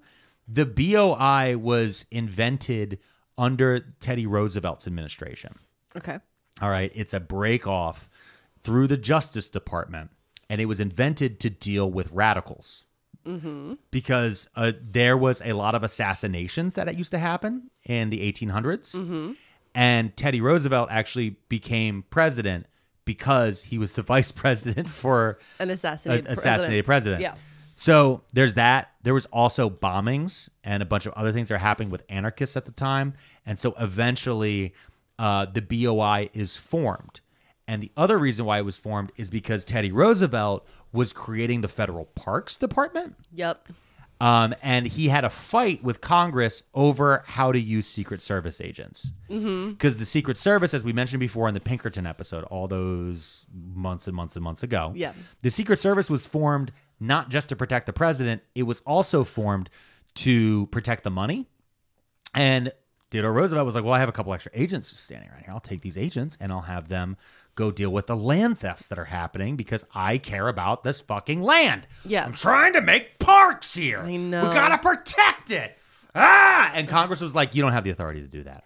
Um, so over time, uh, the BOI was formed, and that was formed to try to deal with some of these executive administrative oversight uh, areas.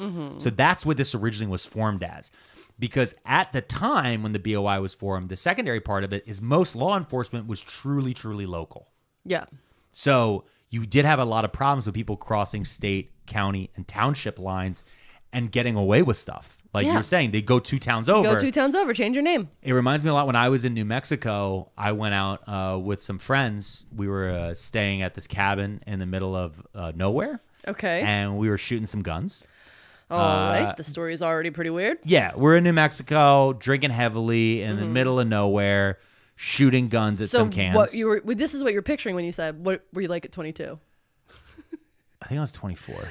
Okay. Yeah, I was definitely around the same age J. Edgar Hoover was when he's overseeing.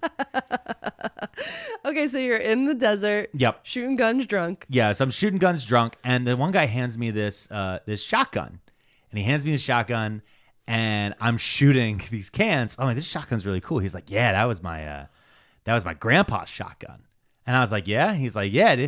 He moved out here with his brother because his brother murdered some dude who was fucking his girlfriend in Kansas. What? And I was like, yeah. I was like, what? He's like, yeah. So they just drove out to New Mexico and just lived here for the rest of their There lives. is. And I was like, wild. He's like, yeah.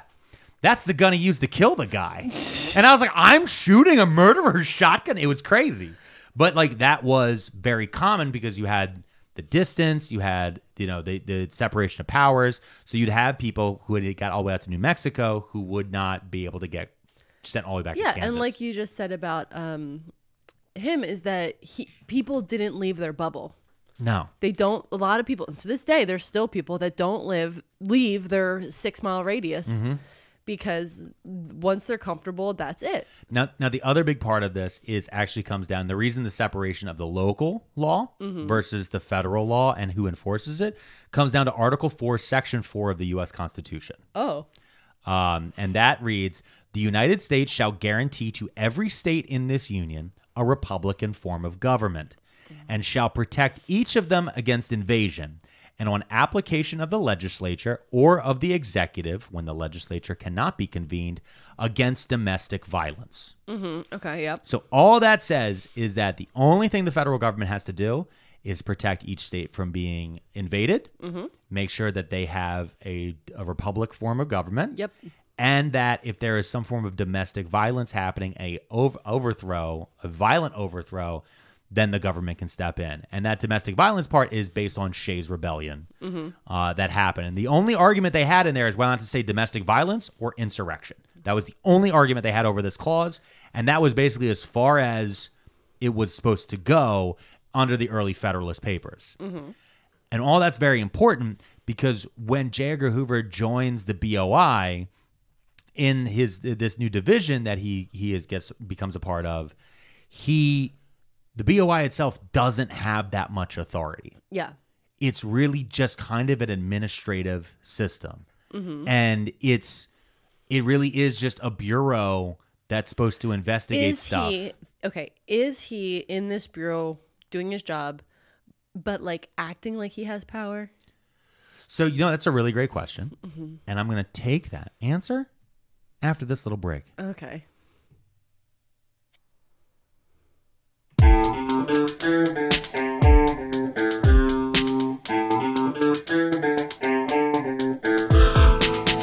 You know, it's actually great that we can now admit um, the pregnancy because uh, you're looking rough. You're not supposed to say that to people. no, I know, but you've been over here just like "Ugh, ugh," the whole time. You're like, my lungs hurt. like the, I, I want the listeners to know the amount because for months now, it's been, it's felt almost like an FDR level thing where it's like we've been, been pretending Yeah. that you aren't basically laid out. I used to talk shit on like, oh, the pregnant lady has to get parked close, and even you would be like, ah, fuck them, and now you're like, no, they Park deserve, closer. no, they deserve all the valor. Give them a medal. I want the same parking spot as the veterans yeah, at the Target. You're like, give me that fucking purple heart. We're Yeah. gonna park close to the I just, I'm uh, breathing is hard when your lungs are crammed. Is all I'm saying. Yeah. you know, we're, I'm having a time, but we're powering through it. We're powering through it. We're gonna get to the end of this. Yeah. Okay. Um. So. Wait, I had asked a question. oh yeah, you had a question. Okay, I was saying is that he's in this like what is kind of an administrative or clerical Yes. place Yeah. that doesn't have any power, like the FDA. It has, it has very little Li- power. very little power, like the FDA or whatever. But is he behaving in a manner in which he has power? That's what I'm about to get into. Okay, because I need you to know that as soon as you described it that way, I started picturing him as Hugo from Bob's Burgers, the food Yes. inspector guy. Yes. The food inspector guy that just shows up and throws around dick power, but he really has no power every time Bob is like, okay. Yeah. Like, Because there's a big part uh, at this time. We're we're right at the turn.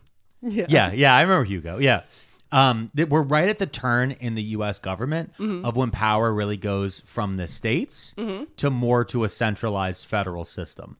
Like I said, up until this point, up like like until pretty recently, most things were handled at the state level, and the feds more or less. I mean, remember before this, Woodrow Wilson's the one who creates the um, uh, income tax. Jerk.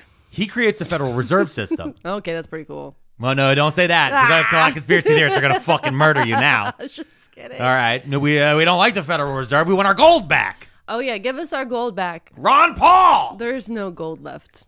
Anyway, um, there's all these. A lot of stuff happens around Woodrow Wilson's time. Okay. That things shift. And you're also starting to get a, a pretty major shift at this time from the rural countryside uh, controlling things to you're starting to have now the shift towards modernity and now the shift of more people moving to the city. I reject modernity. Embrace tradition.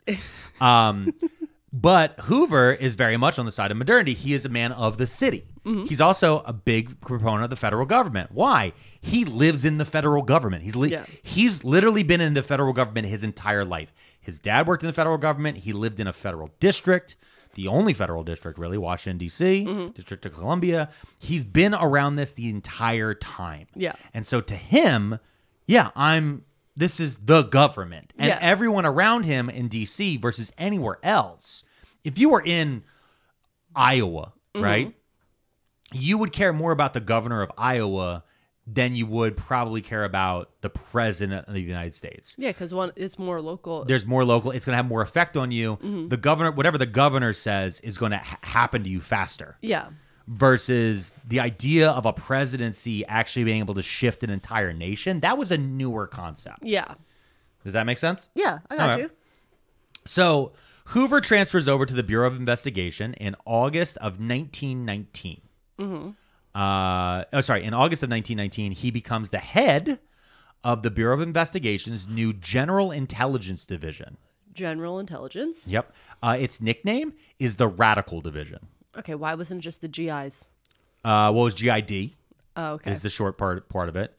Uh, GI is government issued. yeah, I know. Yeah, but General Intelligence Division, GID, is also known as the Radical Division. And not like radical, you're on a skateboard, man. More like, No. that's a radical. We need to suppress them. Oh, okay, cool. And now I said this was 1919. Mm-hmm. Now he takes over this division August of 1919. All right. This is right after the height of the Red Summer. Mm-hmm. Okay. Um, so that was a series of um, lynchings Okay. that happened uh, all over America. Mm. Uh, there was about 38 of them. Jesus Christ. and part of it was um, both local, uh, local fault, and also part of it was the fault of Woodrow Wilson. Um, Woodrow Wilson said at the end of World War II that the greatest purveyors of communism in the United States uh, will come from the uh, returning Negroes. okay. Because basically, from this point forward, whenever black people get an idea of, hey, why, why can't I just do the same thing these guys do? Someone will yell, he must have learned that from the commies. Got it. Um, Got it. Because they went to France and were treated like humans. yes. And they saw how people lived. And it's Yeah. the same thing with the idea of the other returning soldiers. You have a shift happening all across America of people returning from being in Europe.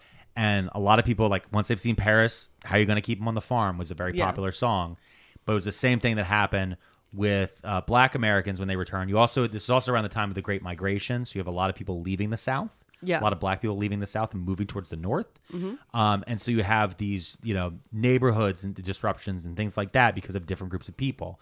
So you have black people moving into an area that's mostly just German and Polish immigrants. And then whatever, you know, rabble rouse, rabble rouse, rabble rouse. Before you know it, you have a terrible, terrible fighting happening all over the country Yeah. Uh, at the same time. And because it would happen in one state, the next state hears about it. Two weeks later, it happens there. It seems to just be this wave that goes all over. Contagious hate. Yeah, 1919. Um, after that, we get hit by the first Red Scare. Okay. Now, the first Red Scare it was a big push due to hyper nationalism from World War One, and also fears from the Russian Revolution. Okay.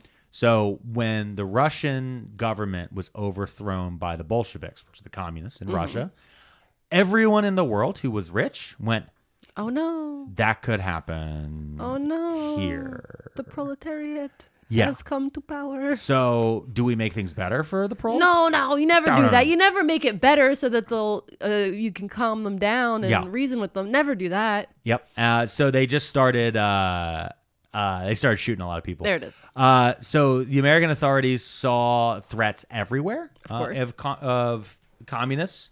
Uh, there was issues in Seattle. There was a general strike. There was also a police strike in Boston. Uh, and then the anarchist groups started bombing a lot of people, Oh. including political and business leaders. It's in the name, really. Yep. And this started what was called the Palmer raids. Palmer raids. Yeah, Palmer. Like Chrissy Palmer. Yes, the same spelling, different guy.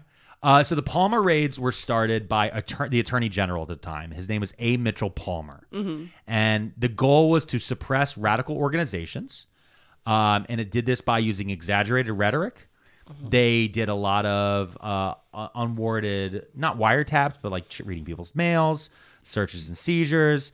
There was illegal detentions, and they deported basically anyone who they didn't have all your paper together. Like fucking send them back to Europe. Just get them the fuck out of here. Um, They didn't even know where they went. no, they that actually that's yeah that still happens today. Where they're like, oh, what? Uh, he's not telling us where he's going. Well, he's going to fucking Mexico. Yeah. Uh, but that's what they did to a lot of people.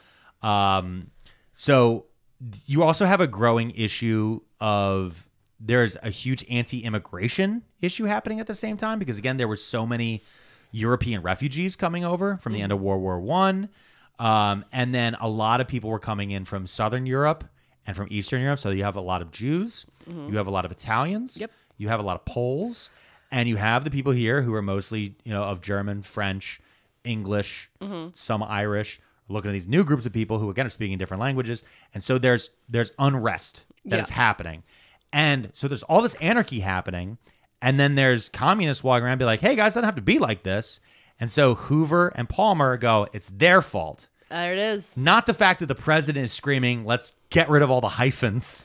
Yeah. Everybody just be white and speak English. Like, also, mind you, at the same time, Woodrow Wilson is also the one who is uh, demanding that uh, showings of Birth of the Nation. And so he actually basically restarts the Klan. Oh my god. Uh, Woodrow Wilson was one of our worst presidents. That's yeah. I I, I remember the birth of the nation story now. yeah.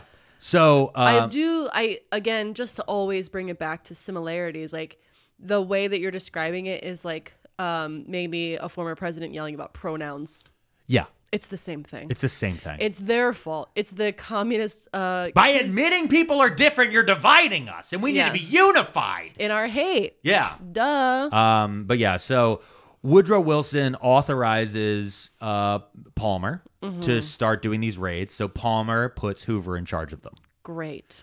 Um, Hoover uh, sets up the first raid on November 7th, 1919. And that is the two year anniversary of the Bolshevik Revolution in Russia. Uh, so then these raids really run through the end of 1919 uh, through early January of 1920. Uh, he arrests over 10,000 people. Jesus Christ. Um, 556 foreign citizens were deported. Uh, he uh, gets rid of a lot of leftist leaders. The raids are particularly targeted towards Italian immigrants, Eastern European Jewish immigrants, uh, anyone who was considered leftist or anarchists, and labor activists. yeah, there it is. Some of the major targets during because it also had some black black people uh, in this too. Some major targets included Marcus Garvey, Rose Pastor Stokes, Cyril Briggs, Emma Goldman, and Alexander Berkman. And there's also one guy who Hoover maintained throughout the rest of his life that this man was the most dangerous man in the United States. Ooh, who was it? Uh, his name was Felix Frankfurter. was he super cool? Uh, he was a lawyer who eventually became a Supreme Court justice Yeah. from 1932 to 1962. There it is. And and he and Hoover will be, just be at each other For eternity? forever because he's considered a very moderate jurist who was like, "Hey, maybe we don't shouldn't do a shouldn't do all secret police Gestapo shit." Yeah. That's basically what he spends his He's entire like, career oh, being like, you're you're having a special police force to arrest labor movement and people that Yeah. want to unionize. Great. So in ni- in April of 1920, uh, Hoover tells the nation, Okay. "Be ready." Oh no. because there's a massive communist uprising that's going to happen on May Day. Hoover had Twitter then. Basically, well, I mean, he had he had the press, so there's Yeah. newspapers, there's radio, there's all these different things. He's going on. just using Twitter the same way it no, the same way Trump. I mean, Yeah. you would see this during the end of the Trump administration, especially if every other day, or even the early Biden years when when or the early days of the Biden's term. Go back and you can go and see on Twitter. I'm not going to say X, formerly known as Twitter. It's Twitter. It's Twitter. Twitter.com still If goes you to go- Twitter. If you go to www.twitter.com, it's Twitter. It's Twitter, so fuck off. Um, but anyway, uh, if you go back then, it was like every other week was like on Tuesday they're planning to be, and it was like it's just this a crazy communists shit. are gonna overthrow. I've seen it. If you go and watch the movie Shutter Island backwards and pause at the, one, hour, one hour and ten minutes, We're not watching Shutter Island tonight. I know we're not. Um, that'll be very funny to people in January. uh, so the uh, he says that on May Day there's going to be a massive communist uprising. It's going to be there's going to be shooting. There's going to be all this different stuff. Uh, it doesn't happen. Okay. The cops and even state militias are all rounded up. They're like ready. They're like in the streets. Everyone's fucking ready for this May Day riot that just doesn't happen. Nothing happens Of course. uh, except for the ACLU being founded. You know what? Cool. It's founded because of this. These Palmer riots are so terrible that the ACLU was found. And then I gave them all of your money. Yes, basically. uh, yeah, if you don't want to give money directly to the ACLU, uh, give money to our podcast, and it ends up being given to the It gets ACLU. donated to the ACLU. Yeah. A lot. Here's what happens. I uh, am a monthly member, so like they auto take money. I automatically give it. But also every time I read something upsetting that has to do with our civil liberties, I just text Alex that I'm giving them more money.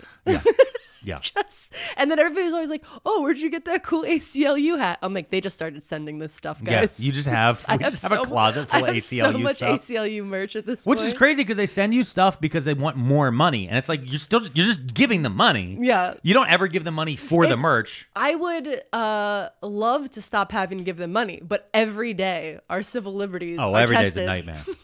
uh, but that's why the ACLU was founded. Yeah. Um, and in fact, shortly after their founding, they released a report titled, quote, Upon the Illegal Practices of the United States Department of Justice.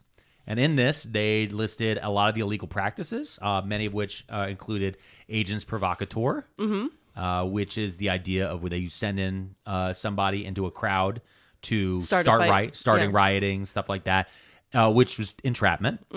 Uh, point out illegal detention, the illegal deportations, illegal searches and seizures, and all the other different random stuff. Now, while Hoover was leading these raids uh, in the radical division uh, as head of the GID, um, it was Palmer who ended up actually taking the political fall. Okay. Uh, Palmer oversteps a few times. Mm. He actually gets dressed down in cabinet meetings by Woodrow Wilson. Okay. Um, and at one point, Palmer actually was. People were talking about Palmer being the Democratic nominee for president after Wilson. That's a Democrat. Yeah. Oh, this is listen, people. People like a lot of people on the right refuse to believe in the party switch, but like Yeah. what they when they go back, like well, old Democrats were better. It's like yeah, because they were Republicans. Yeah. Um, while Palmer's on his kind of fall, Yeah. kind of moving on his way out, uh, Hoover was spending this time streamlining the General Intelligence Division. He w- started going through all of the files at Mm-hmm. the Bureau of Investigation, and he systemized them through a series of index cards. Oh my god. So he started creating a card filing system very similar to older geriatric millennials that we are. Mm-hmm. Or remember going to a library and there being these little drawers, Yeah. little cards in them, similar to that, the way before we had computers.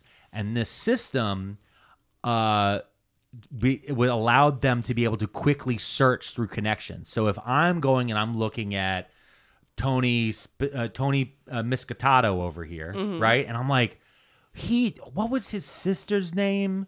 And it'd be like, oh, sister's name's Jan. And like, well, Jan, she's related. And then you'd be able to quickly go through the cards, be like, she's fucking uh, Tommy Kapowski. Oh. So you could go through and make these connections a lot easier. They didn't have Facebook to. They didn't have any of these things. I mean, there's no search engines, any of these things. They had the they use the intelligence agencies just use Facebook now because we all well not me but like everybody puts up who they're related to and friends with on Facebook. Yeah, no, exactly. We don't need to.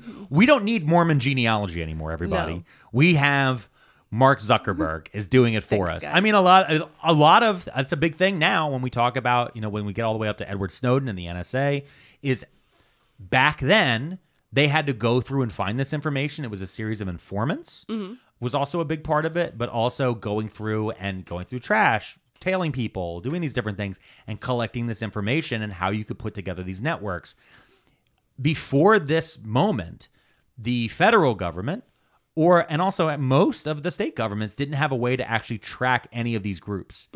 So you had communists over here, you had anarchists over here, and you're like, what is their relationship? What's the relationship between these different Oh, there's people? probably just like a lot of infighting because people Oh, picking a, picking apart. Oh, you're not this enough. You're not that enough. Yep. And then it takes down the whole movement. The cards um, rapidly expanded uh, to cover 150,000 people. Jesus Christ. This is again, we're talking about in 1920. That's like everybody. Yeah, This means everybody's on 150,000 people is like that's if you're in America, you're in, on an index card. it, at it this felt point. pretty close. Um, by 1939, because Mm-hmm. eventually these cards will be known as uh, the FBI files. Mm-hmm. Uh, by 1939, these will cover uh, 10 million people. Yep. there just it by is. 1939. Uh, in 1921, uh, one year after the Palmer raids, Hoover was promoted to deputy head of the Bureau of Investigation. Okay. So the BOI. In 1924, the General Intelligence Division, the radical division he was in charge of, Yep. uh, that was basically deleted. It was terminated. A, a lot of prem- prominent members of the government uh, said that GID uh, and its tactics were unconstitutional and many of them compared them uh, to the Tsar's secret police Yep. Um, or the Kaiser secret police back in Germany. They're like, listen, this is fuck shit. This Yeah. is what the U.S. wants to do. Because remember, there's also a lot of people, especially coming from Europe, who are like, no, we don't want to be a monarchy. Yeah. I know that we don't. I know that now there's a lot of people here who want to be a fucking monarchy, but there was a very long time people be like, no, living under a czar sucks. yeah. Uh, we don't want to vote for Barron Trump. Um, or or Hunter. There, I both sides. Fuckers. Um, so while the GID was declared unconstitutional Yeah. and uh, and closed, Okay. Hoover kept the cards. Of course he did. What he are you kept the talking cards, um, but he also didn't care because he was then declared acting head of the BOI. I assume he killed his boss. No, his boss was. Uh, have you ever heard of the Teapot Dome scandal? No. It's stupid. Uh, Never it's. Teapot Dome is one of those scandals where today we'd be like, no, that's that doesn't even make. You call that a scandal? You would look you're like it's not even trending. Like Oh my it, God. it wouldn't because it's it has to do with like graft and it's one of those things. But this is during Calvin Coolidge's administration. Mm. Coolidge kind of sucks. Um, but anyway, Hoover's declared acting head of the BOI, Mm-hmm. and a few months later, President Calvin Coolidge uh, makes it official, and Hoover is named the fifth director of the BOI. How old is he now? 29. Jeez. He's 29 and he's running the BOI. Okay. So the BOI was a smaller agency, had uh, 650 employees. I mean, that's a lot. Well, I mean, for, for compared to other agencies Yeah. back then, I mean, like to be the boss of 650 people. yeah. That's like pff, that's a bit of a promotion. Um, of those, Mm-hmm. of all of those people, uh, 441 of the 650 were special agents. Okay, so it's not really that special if the number's that high. Yeah. So one of the things is uh, all agents are uh, are special agents, Well, if all agents are special agents and they're not special, they're just agents. but that's that that comes all the way back to when with Teddy Roosevelt and like the Secret Service and all that stuff because they had to be pulled out of certain areas. They're put on special assignments. Got it. So all FBI or BOI uh, assignments are special. So all agents are special. Oh my god. Yeah, it's it's it's They're fun- giving out trophies. Yeah, They're they basically out, yeah, are. they're giving out participation trophies. Is what you're telling me. um, one of Hoover's first act Okay. uh, is to fire every female agent Oh god. and banning the future hiring of any female agents. Okay. That makes sense. All of them. Perfect. Yeah. For Want to the keep that on brand. for the rest of his time as head of the FBI, Mm-hmm. he says uh, no more women. Which is interesting because um, what we learned in the Pinkertons episode, Uh, yeah, what we learned in a future episode, that we recorded today. Yeah, no, about how women, we, but women are really good at being spies So- because no one expects them. They're the Spanish Inquisition. No So- one expects them. So one thing that you need to understand is is there's an argument inside the FBI and inside Hoover's own head. Mm-hmm. Often between the FBI, BOI, and uh, what else is is this a spy agency or is this law enforcement? Because those are actually two separate things. They're a spy agency. But that's but that's where he ends up arguing with it because, um, you know, let me explain why he fired the women. Okay, because he's a bigot. So in 1928. You didn't say no. and I mean he's definitely a bigot. He's definitely a white supremacist bigot. Like there's Mm-hmm. Yeah. no there's no way around it. Yeah. Um, the only agents he would hire were white. Yep. Uh, they had to be about a certain age. He also had like really weird fucking like thought processes on people. So like if you had like sweaty palms, he wouldn't hire you or he'd fire you because he didn't think you had like strong nerve. Oh. Got there was it. all these small things about like body language, about your life. You know, the FBI would do all these background checks. Um, if you'd used any drugs, anything like that, like you would be Just like all the FBI is Mormon now. yeah, kind of. No, it is. Yeah, a they lot of like go out and seek Mormon men because they're they seek white men that have uh, white nationalism built into their belief system. Because part of Mormonism is understanding that we live in the Mecca. We live in the place that we should be defending as the birth of God. Mm-hmm. So that white nationalism leads into kind of the cult of the FBI and not questioning orders and following certain protocols. So like I think statistically there's more Mormon men in the FBI than that like they seek them out Yeah. to work there because of it. Yeah, I'm trying to pull up. I had at one point a list of like things. Stuff and things. No, it was like a list of like what he required uh, because there's they're kind of weird. Not sweaty palms. Palms are sweaty. but I mean, like, I palms know this. I remember the sweaty palm thing, but there was like a lot of really fucked up things that were like listed in there. Of like, he basically just wanted he wanted just a cardboard white guy that he could mold. He would have But, loved like, the he- Mormons, he- but that what's his name, John Smith or whatever, wasn't John Brown. What is it? John Smith. John. S- hadn't come here yet, right? No, John John Smith had already come and gone. He did. Yeah. Ah, the dates are ruining my Yeah. brain. Um, so uh, here's the thing. Mm. Uh, in 1928, 1928. a new applicant okay. uh, joins joins the uh, the group. Okay. Okay, so he Who are joins. they? He joins the BOI. Um, on his application, Mm-hmm. he lists uh, that he only wants to become a special agent because he want to use he wants to use this position as a stepping stone to make enough money and to get enough experience to open his own law office in Iowa. Oh, he's gonna get rejected for that one. Uh, no, he gets hired. Oh, really? Uh, his name is Clyde Tolson. Okay. Tolson becomes a field agent, Mm-hmm. and he's rapidly promoted to the chief FBI clerk. All right. And uh, was after about two years, he is the assistant director of the BOI with J. Edgar Hoover. Sure. Yep. What's this have to do with women? So uh, remember, I mentioned we're never going to mention girlfriends again. Yeah. Uh, oh. So then he didn't go out and start his own law business? Is that what you're saying? Uh, Tolson would stay at the FBI for the rest of J. Edgar Hoover's life. They were best bros. So it's um, there's a lot here. Okay. This is the next big conspiracy with J. Edgar Hoover.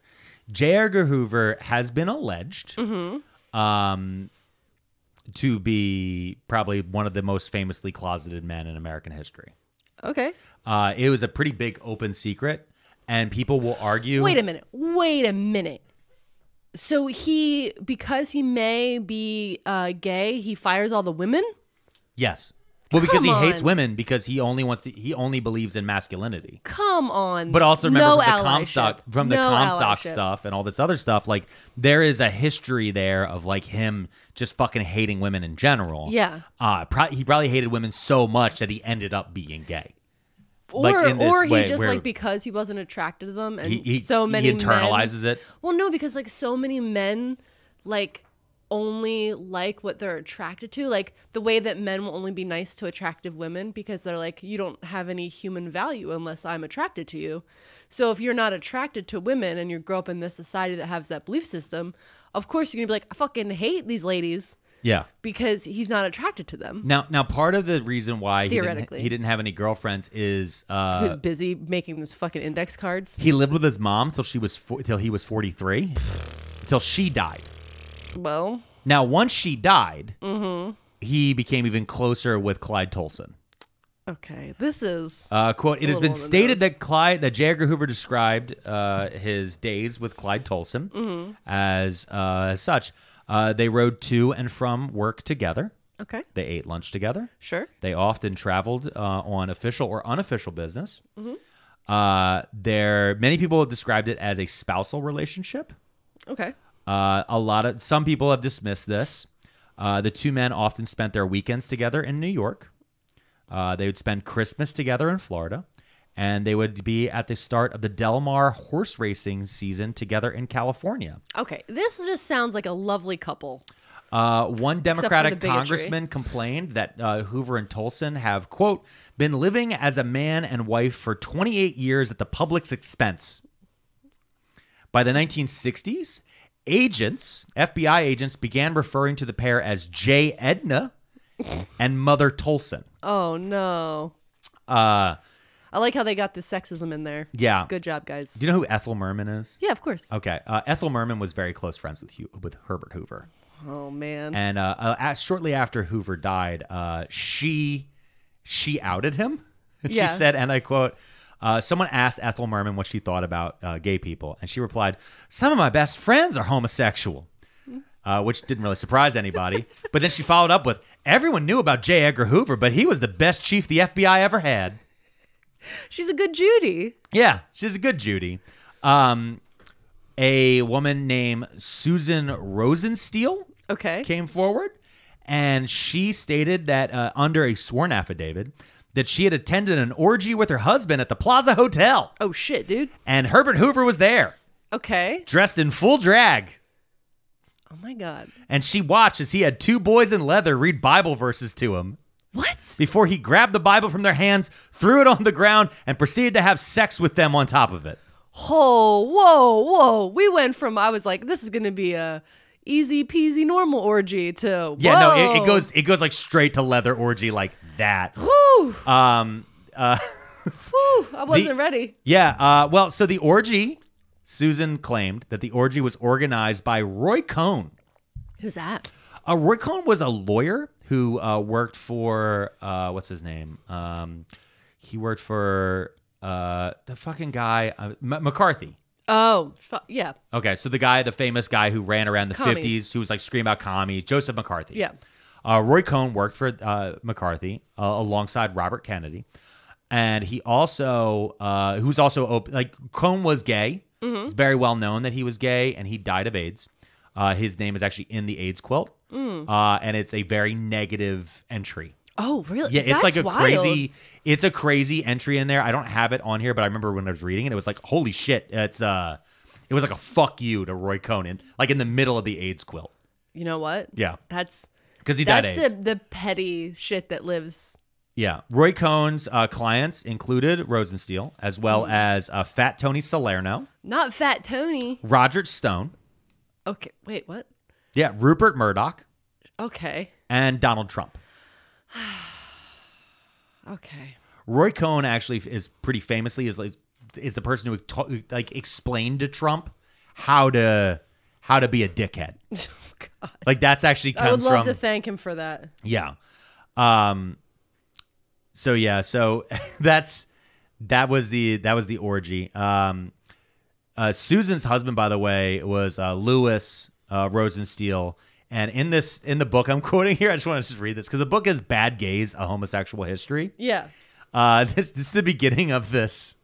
Susan's husband, Louis Rosenstiel, was a powerful bisexual businessman. like Oh. that's, that's how they quote him. I just love that. Yo, listen, put that on your LinkedIn. Um, A powerful bisexual businessman. yeah. I So, just go- I'm googling the quilt. I need to know what it says. oh, the Roy Cohn quilt. I mean, I Did you find look- it? No, I'm looking for it right now. Oh, it says Roy Cohn, bully, coward, victim, is sewn into his quilt. Yep. Yeah, Yeah. Bully, coward, victim. I think that's just like such a. yeah. so amazing. They're honoring the fact that he was a victim. Yeah. but that doesn't take Well, 'cause away from everyone- the fact I mean, that he was a if- hateful coward. Yeah. I mean, if you die from AIDS, you're a victim of AIDS. yeah. I, I like. The, the, the, they had more grace than all of us. Yeah. All right. Because I would have been like, fuck Roy Cohn. He's not going in my goddamn quilt. Yeah, you- But no.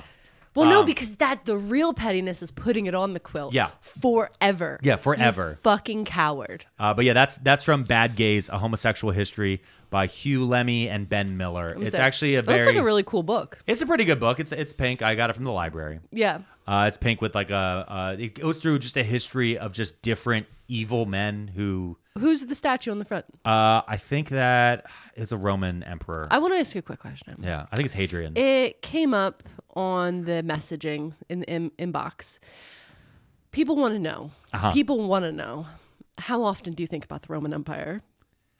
so, I knew this was going to happen. Yeah. Uh, now a lot more, There. but I- because because okay. every time I'm scrolling through TikTok, Yeah. it's coming up. Yeah. I will say that a lot of the quote thoughts of the Roman Empire it's algorithmically based forced thoughts through the options that I'm being given because I like history.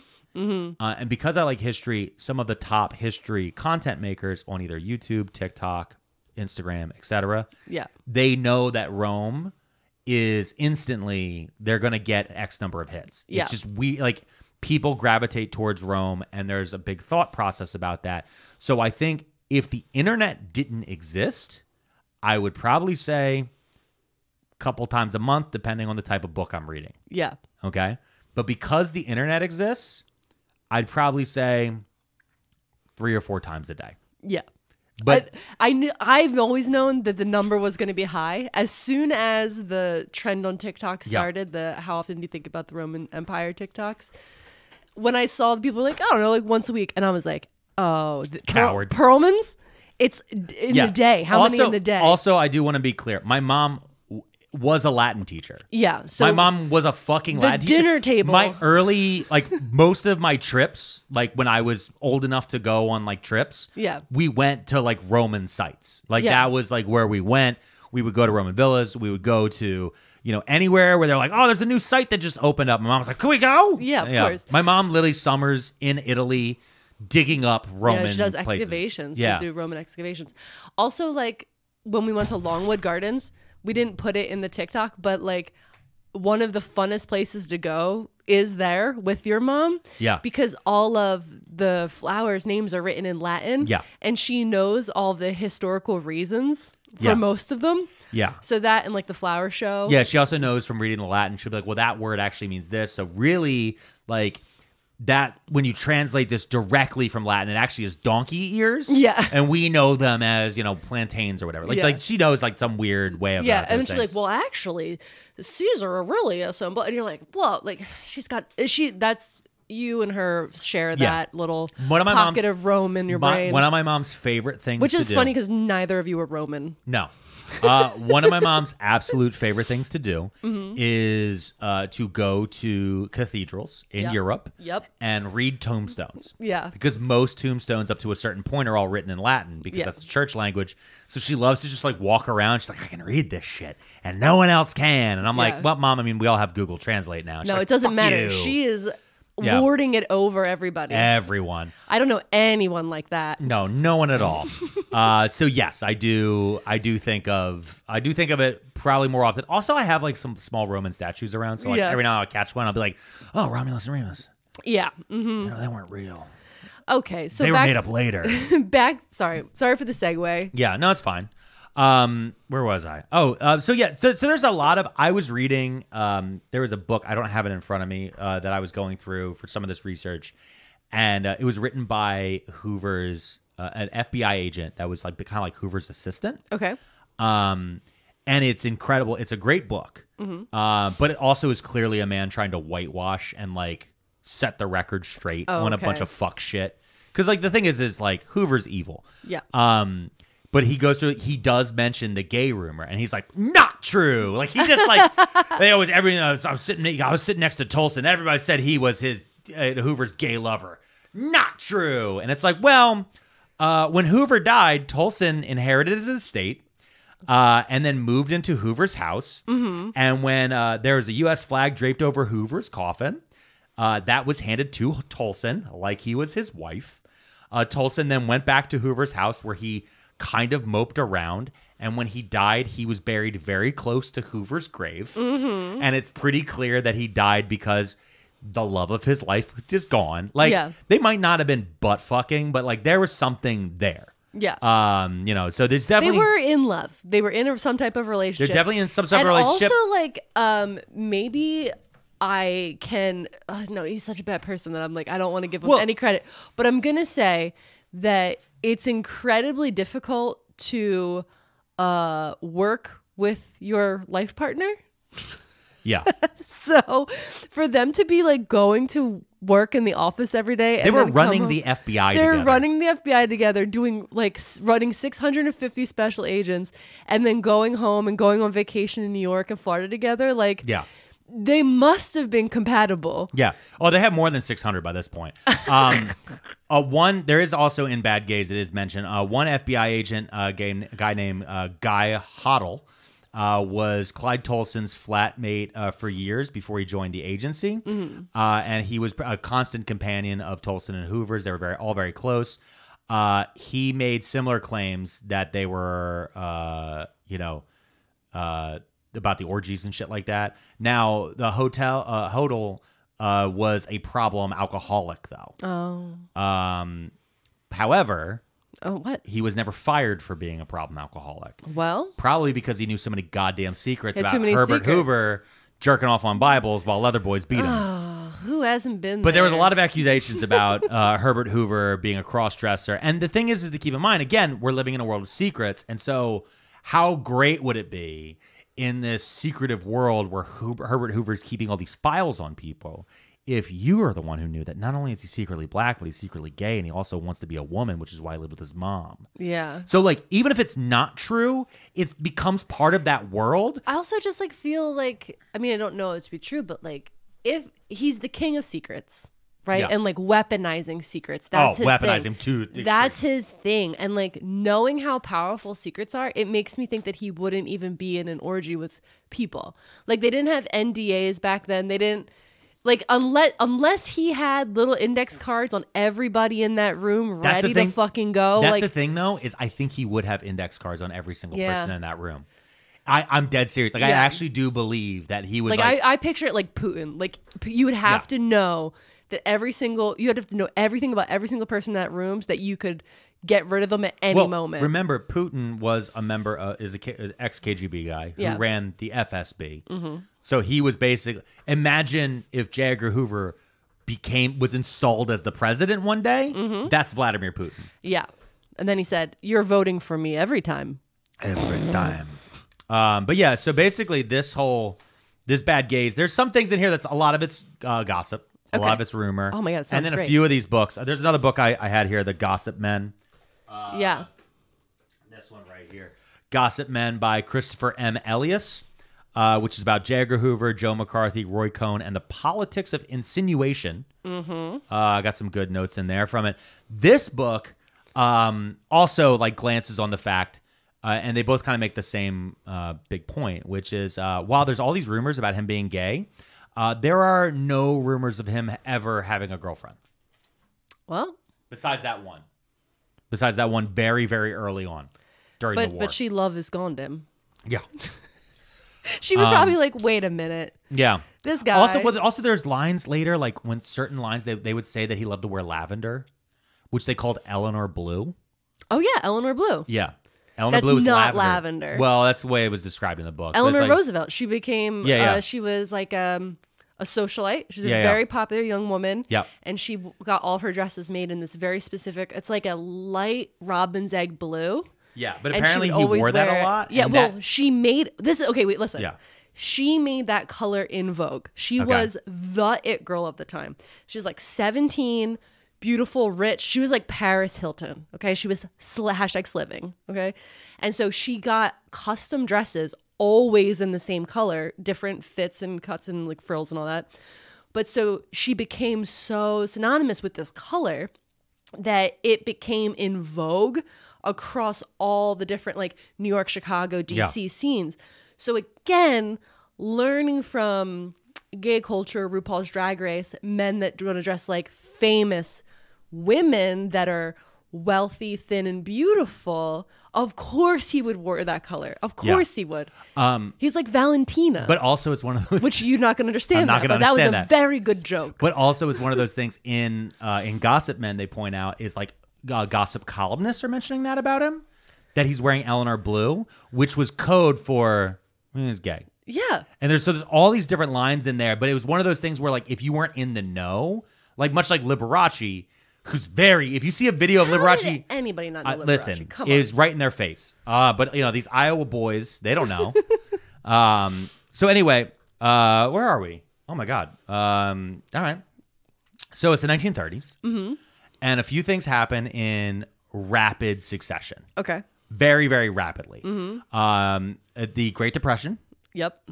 the car becomes cheaper Okay. and more accessible. More accessible. Tommy guns, Okay, great. So we've got cars guns? and we've got guns and we've got depressed people. yes. What could go wrong? uh, criminal gangs begin to rove the United States, robbing banks, Yeah, yeah, yeah, yeah, where they're outgunning, outdriving, and outmuscling all the local cops. Let's fucking go. um, and the thing is, they're robbing banks, and everyone hates the fucking banks because the banks not only just destroyed the economy Mm-hmm. while they were destroying the economy and stealing, and there was no FDIC back then. Yeah.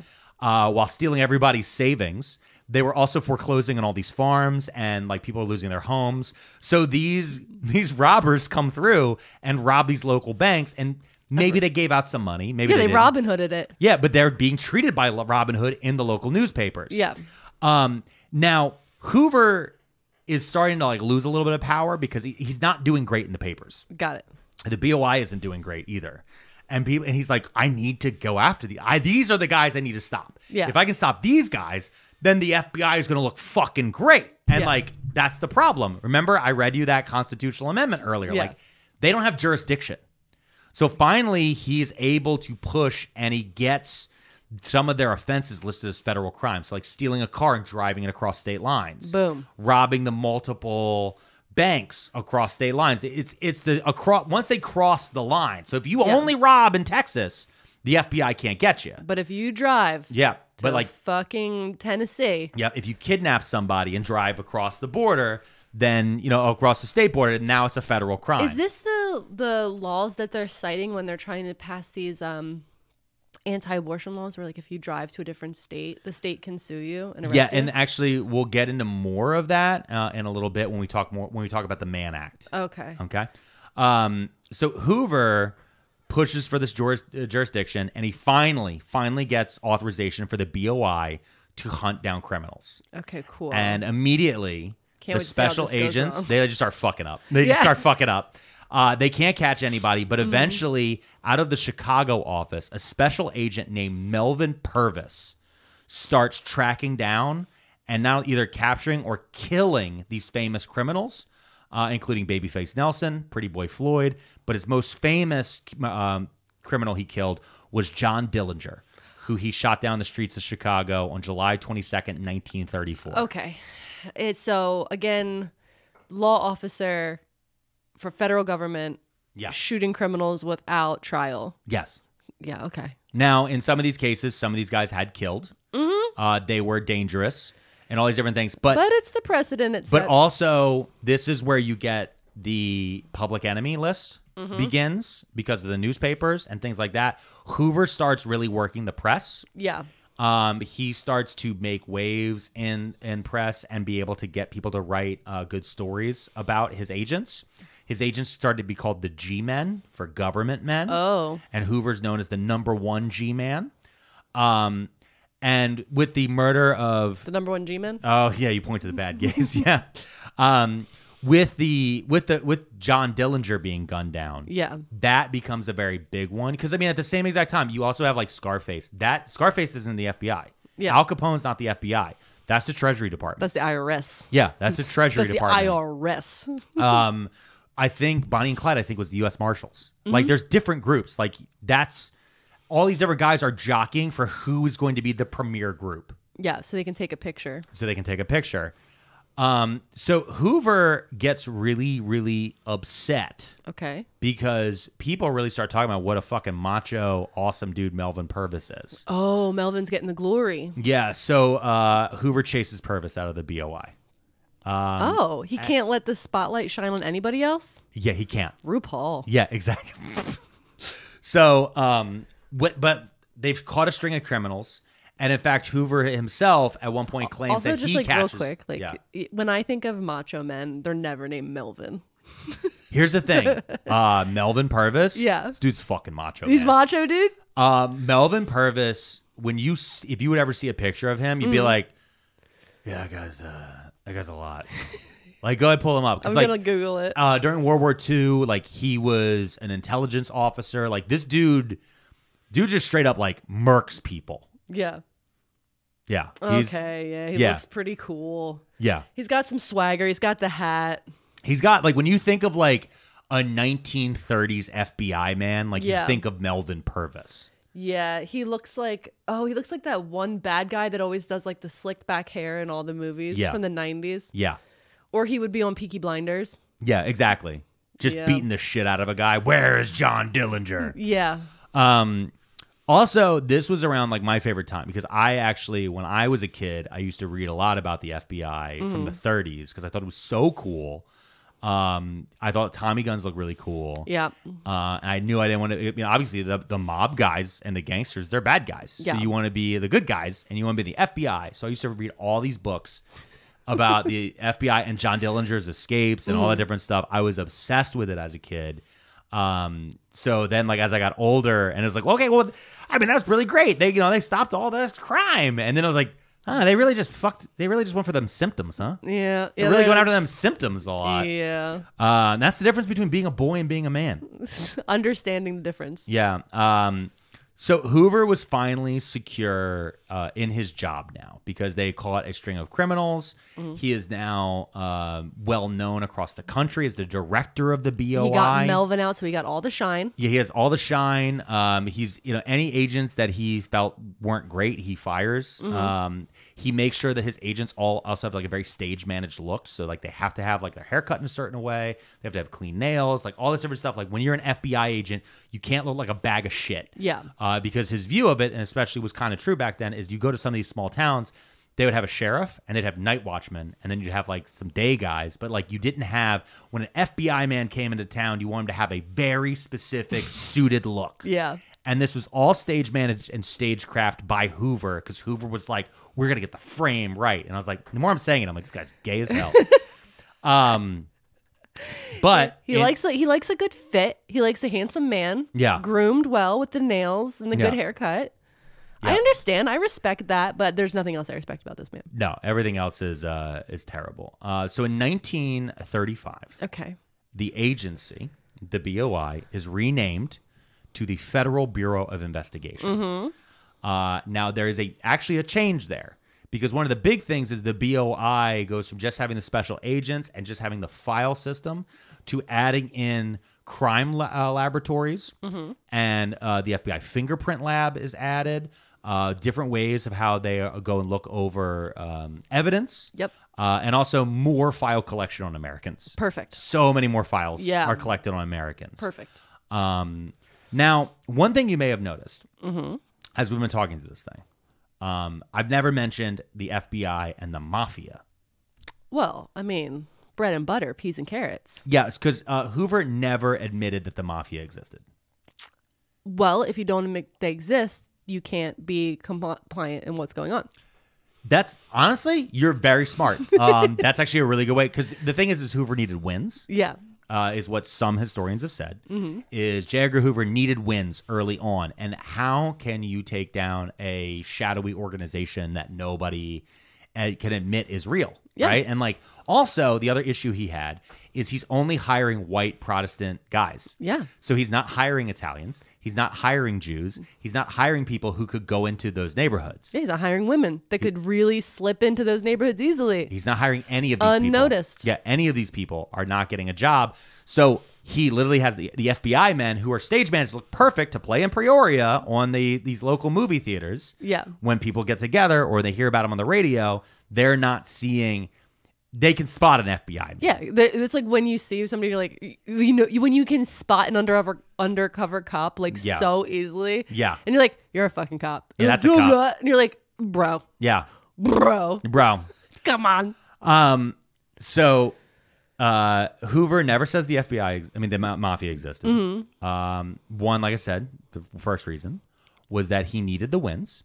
Yeah, and he didn't want to admit to the world he couldn't catch them. yeah, And number two uh, is an accusation that uh, Meyer Lansky, who was a Jewish uh, mob member, uh, had incriminating photos of Herbert Hoover cross dressing and getting fucked in the ass by Clyde Tolson. that is a very specific and pointed reason. Yes. Unlike the first reason, which was kind of just like a overarching. It's like a nebulous, like, oh, well, that makes Yeah, sense rich strategy Yeah, wise. okay.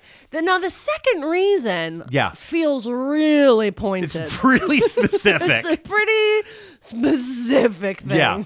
Um. So Meyer Lansky is was known as the mob's accountant. He was a he was a member of the Jewish mafia, uh, and he was connected with Lucky Luciano, uh, who was big head of the Italian mafia. Yeah.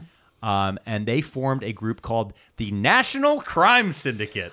Bro, the branding. Yeah. The branding. Uh, it was nicknamed Murder Inc. I'm dead serious. I'm, well, yeah, I knew that because then when they made Murder Inc. records. Yeah, exactly. It was named from after there. this. Yeah, yeah. Um, but but just so people don't know, the National Crime Syndicate, which is which was a real thing, Yeah. uh, it was a union of different ethnic mobs Yeah. who came together. So it was the Jewish mafia, the Italian mafia, uh, the black and the Irish mafias, like those those different organized crime groups all kind of came together to discuss turf. Yeah. Um, you know, these are bad guys, but you know, they don't have to be bad guys. Listen, they understand that uh, business needs to get done. Yeah. I just picture that um scene in Batman when the Joker comes in and they're all like all the different mobs are at the table. That's exactly what That's it is. it. It's exactly that what moment. it is. Um, so uh, I'm noticing that we are we've we've run pretty Yeah, it's pretty getting tight. late, yeah. and uh, I haven't even touched on World War II. Okay. Um, so with that being said, Okay. this will be Mm-hmm. our first long form two part episode. Oh shit. Yeah. So Mrs. Pearlmania, with that. We're gonna go to bed. Yeah, we're gonna take a break. We're gonna go to bed. We've announced a lot today. We've Yeah. said a lot today. We've said a lot of things. Is there anything you This like? isn't even the first podcast we recorded. No, this is our second podcast recording of the day. We will record. So uh, this is the end of part one. Part two will be out next week. Next Sunday. Uh, next Sunday, we will have that recorded uh, and posted after the Helium Show. Mm-hmm. Uh, any parting words of wisdom for all of the Pearlmania Patreons and listeners and all that fun? Everybody have a great week. Um, keep smiling. We're doing this. Yeah. Guys, thank you so much. And keep it frosty. Keep it frosty. Okay. Can we go get frosties?